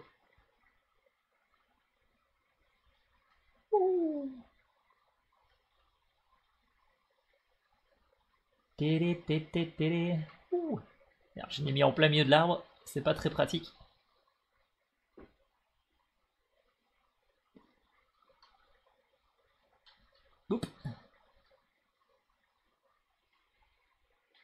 Alors, si on veut augmenter la vitesse de mon drone, il faudrait aller sur le drone en question. Ici. Euh, et sur le drone, il y a un script ici qui s'appelle FPVTelo. Et c'est là où on a la vitesse, euh, distance par seconde. Donc là, on va mettre 9, 9, 5. Voilà. Ouh.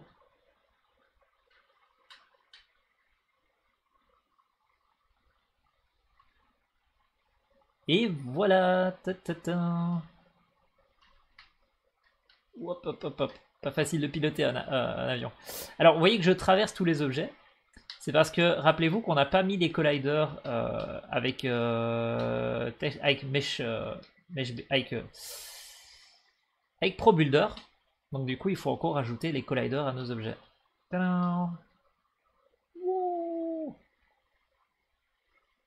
Ouf, tu il est haut lui.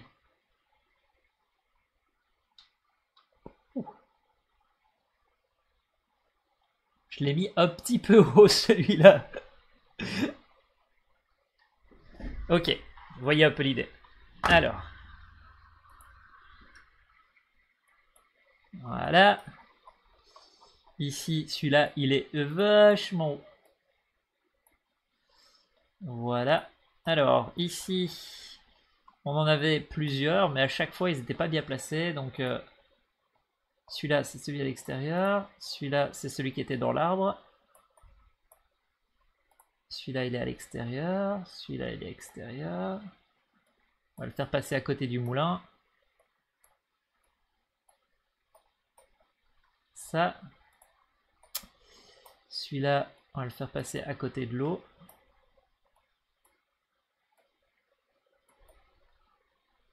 Voilà. Celui-là, il est à l'extérieur ici.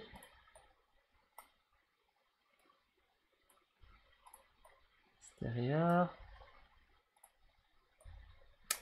Celui-là, on peut le faire passer ici en dessous pour le faire passer sous les rochers. Ça peut être marrant.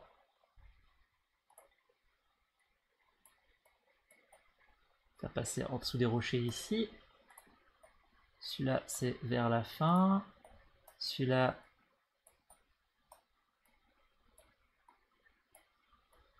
Voilà.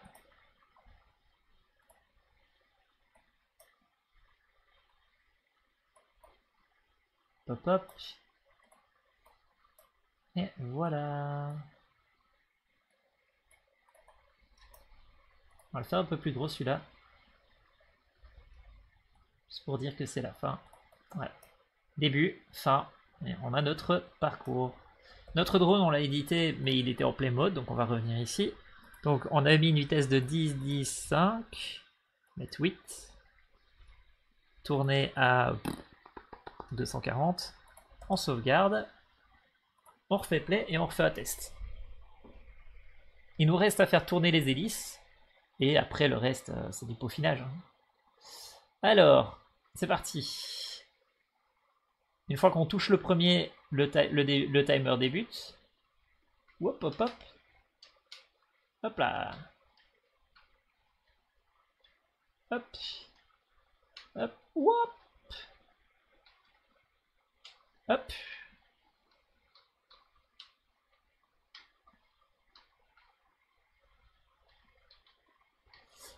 Yeah, yeah, yeah, yeah. Wow.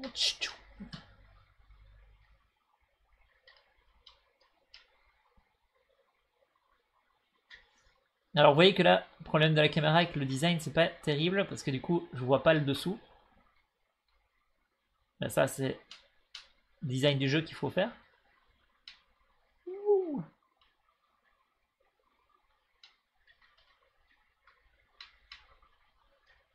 Hop. Hop.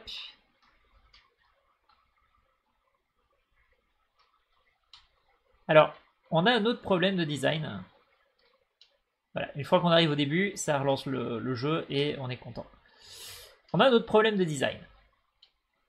Là, actuellement, notre jeu, on l'a fait pour être joué sur un écran d'ordinateur. Et donc, du coup, on l'a pas fait pour que ce soit euh, jouable en VR ou en AR. Et alors, ce qui se passe, c'est que les dimensions sont beaucoup, beaucoup, beaucoup trop grandes. Je vous montre. Si on est un joueur en réalité virtuelle, et donc on n'est pas en, mode comme pour le moment, nous sommes une personne qui fait, on, fait plus ou moins 1m50 quand on est un enfant. Donc si je mets un cube ici, voilà, que ce cube il fait 1m50 de hauteur. Voilà, ça c'est le poids 0 de notre jeu. 0, center, voilà. Voilà, ça c'est le centre de notre euh, carte. Ça c'est la taille d'un humain, human, comme ceci. Un humain ça fait plus ou moins, euh, on va dire 40 cm de, comme ceci sur 30 cm. Voilà, donc ça c'est notre fameux humain. Et euh, quand il va jouer à notre jeu, il va jouer avec l'île qui est toute petite. Il veut pas. Donc, euh, admettons que le sol de votre pièce, en réalité virtuelle, généralement les gens ils ont 2 mètres d'espace avec lequel ils peuvent jouer. Donc, on va faire euh, 2 sur 2. 0.1 moins 0.05. 0, 0. Ça, c'est l'espace dans lequel il peut se déplacer. On va dire qu'il a 3 mètres autour de lui. Voilà, donc ça, c'est l'espace de jeu qu'il peut avoir pour son île. L'humain, je suppose qu'il va aller se mettre quelque part par ici. Pour jouer à notre jeu. Notre jeu, lui, doit se mettre là-bas. Ce qu'on va faire, c'est qu'on va créer un poids vide qu'on va appeler euh, level euh, drone island. Voilà. On va le mettre en 0, 0.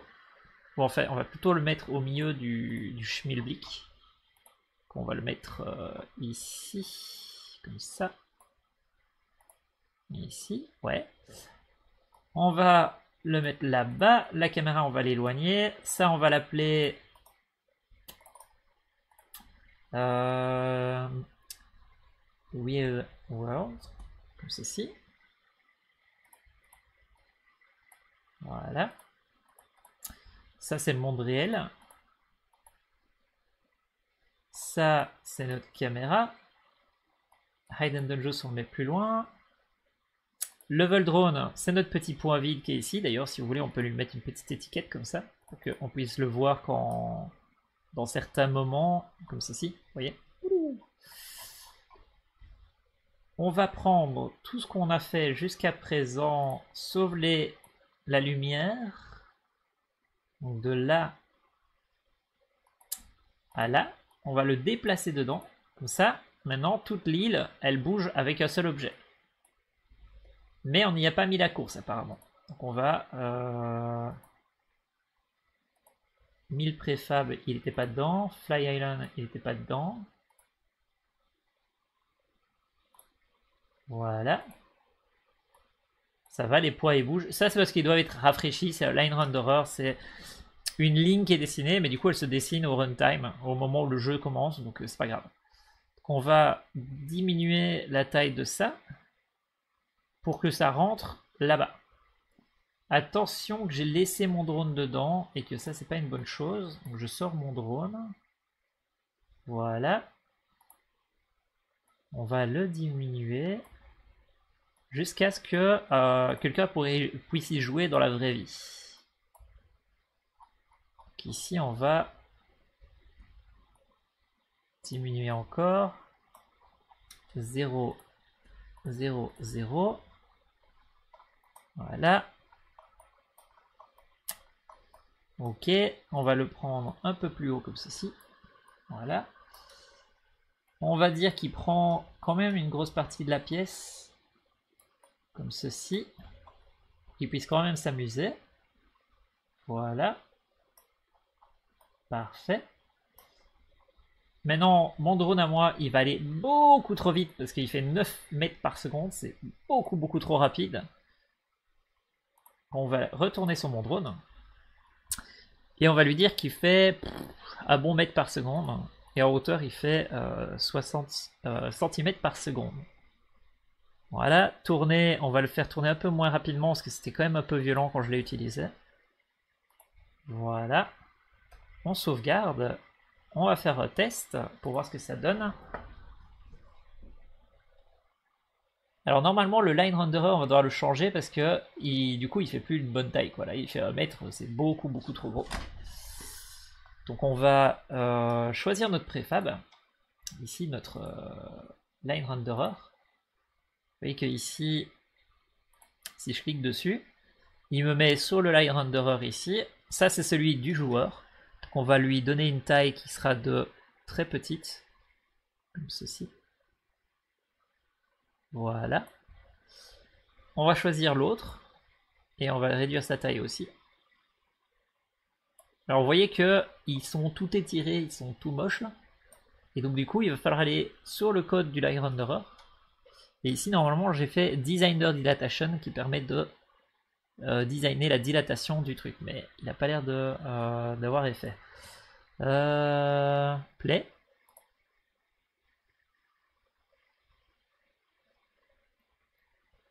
Voilà. Alors, Designer Dilatation, il faut que je le change. 1,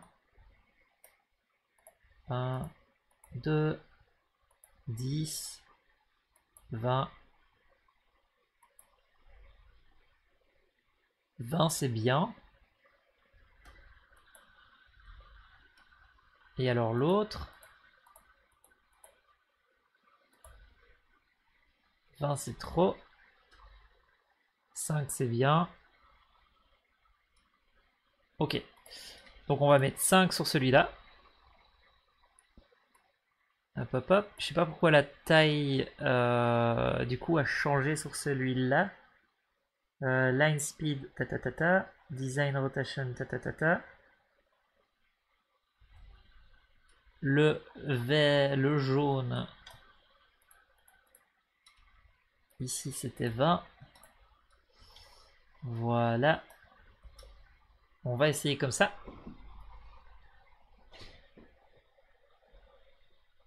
Hop. On a magnifique drone. La caméra, il faudra la rapprocher beaucoup plus du drone. Voilà. Alors les poids deviennent très durs à, maîtriser apparemment. La caméra, on va la ramener. Ici. Alors, on va lui dire qu'il peut voir de très très proche, comme ceci. Et que euh, ma caméra... Pourquoi il me laisse pas venir tout près? Euh, On la veut à 0,3 au lieu de ça, on va dire euh, moins 0,3. Voilà. Pas moins 0,3, on la veut au-dessus comme ceci, comme cela, comme ceci, parfait. Voilà.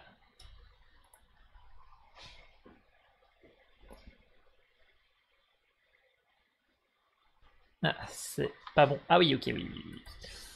Euh, drone. On va tous les le mettre en 0, 0, 0. Comme ça, ils sont tous les deux euh, au niveau du sol. Comme ça, ma caméra, je peux la replacer correctement.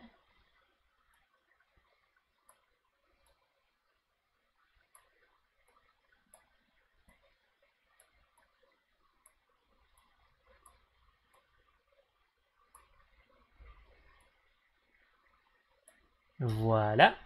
Alors attention que en VR, il faudra désactiver la caméra et mettre une autre type de caméra pour que euh, on soit pas dans cette situation où la caméra bouge dans tous les sens et qu'on a la gerbe. Hop hop hop. Voilà. Je peux toujours traverser le sol, mais c'est pas grave. Ok, on va essayer de faire la course. Hop. Pourquoi ça marche plus soudainement? Ah, je sais pourquoi. Ah, ça c'est pas idéal. Hop. Ah non, c'est bon. Alors mon drone est toujours beaucoup trop gros pour l'île. Hein. Ici, euh, le drone il fait la taille de l'île. Pas idéal. Et euh, il est toujours très dur à piloter niveau de sa taille. Yop yop yop.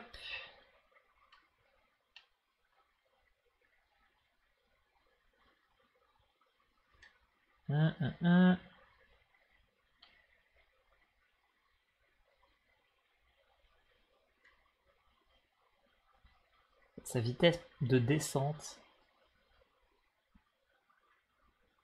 Pourquoi est-ce qu'il touche pas?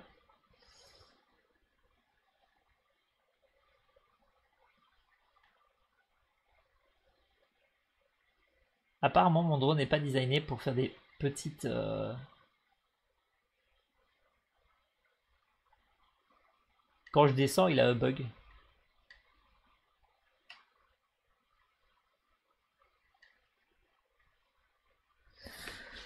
Euh, c'est pas grave. Euh, je corrigerai ça pour la fois prochaine.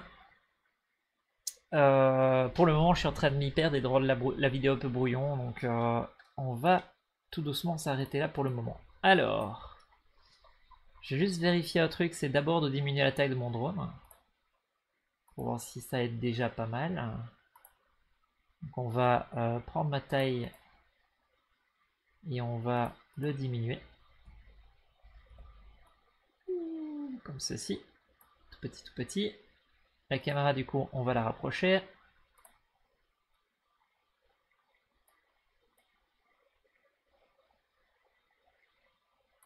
Voilà. Sauvegarde. Mes lignes, elles sont toujours un peu épaisses, hein, quand même. On va les réduire encore. Donc ici, la taille, c'était de combien? 0.01 0.02 Sauvegarder. Play, on va voir ce que ça donne. C'est ça, ça c'est vraiment typiquement le jeu vidéo. Il euh, n'y a pas un moment donné où le jeu vidéo c'est simple. Il y a toujours bien un truc qui va vous arriver en mode ça, ça veut plus fonctionner parce que ça, ça, il faut le configurer parce que ça. C'est toujours un, casse-tête chinois.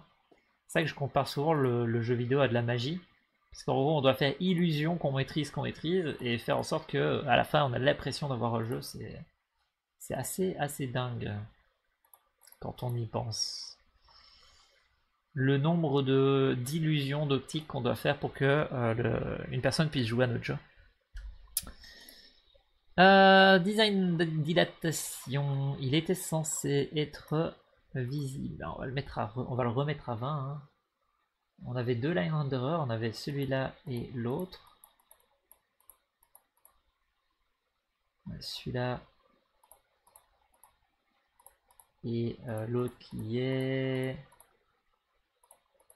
Ici. Euh, ouais. Je sais pas pourquoi il en a autant. Sauvegarder. Bon, on va faire avec. Ce que je voulais vérifier, c'est qu'en étant plus petit, est-ce qu'il est piloté plus pilotable, oui. Il reste plus pilotable, mais s'il reste assez violent. Hein. Bon, si je corrige le bug de quand il va en dessous, ça va, mais il reste assez violent. Hop là. Yep.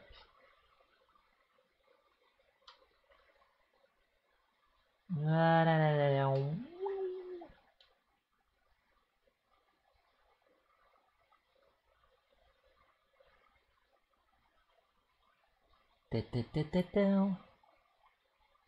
Hop.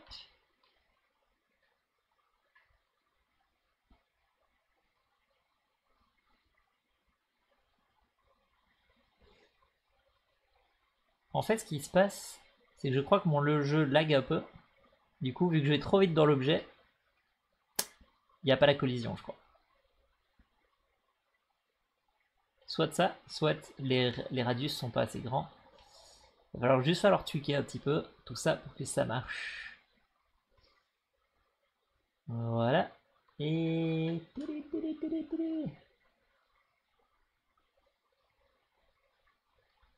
Voilà, on a fait la course. Alors, l'idée ici, évidemment, euh, ça va être de tweaker pour faire euh, une carte qui est sympa, une carte qui est jolie, un truc qui passe au bon endroit. Il va falloir rajouter un petit compteur pour pouvoir euh, faire en sorte que dans le, jeu, il y, a, un compteur. il va falloir faire un meilleur score. Ça, c'est le sujet de demain et d'après-demain. Aujourd'hui, notre but, c'est juste de faire ça.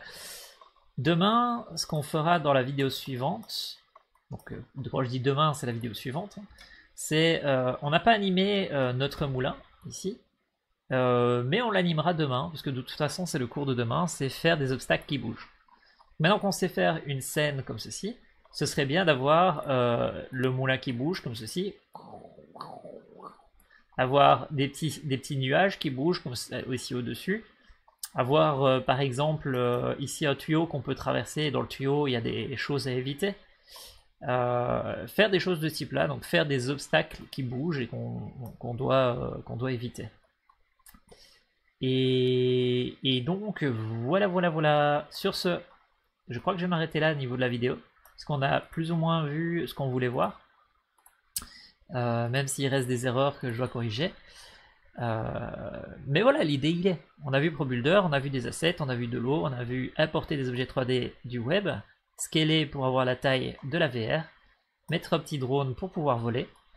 Euh, c'est déjà, déjà bien.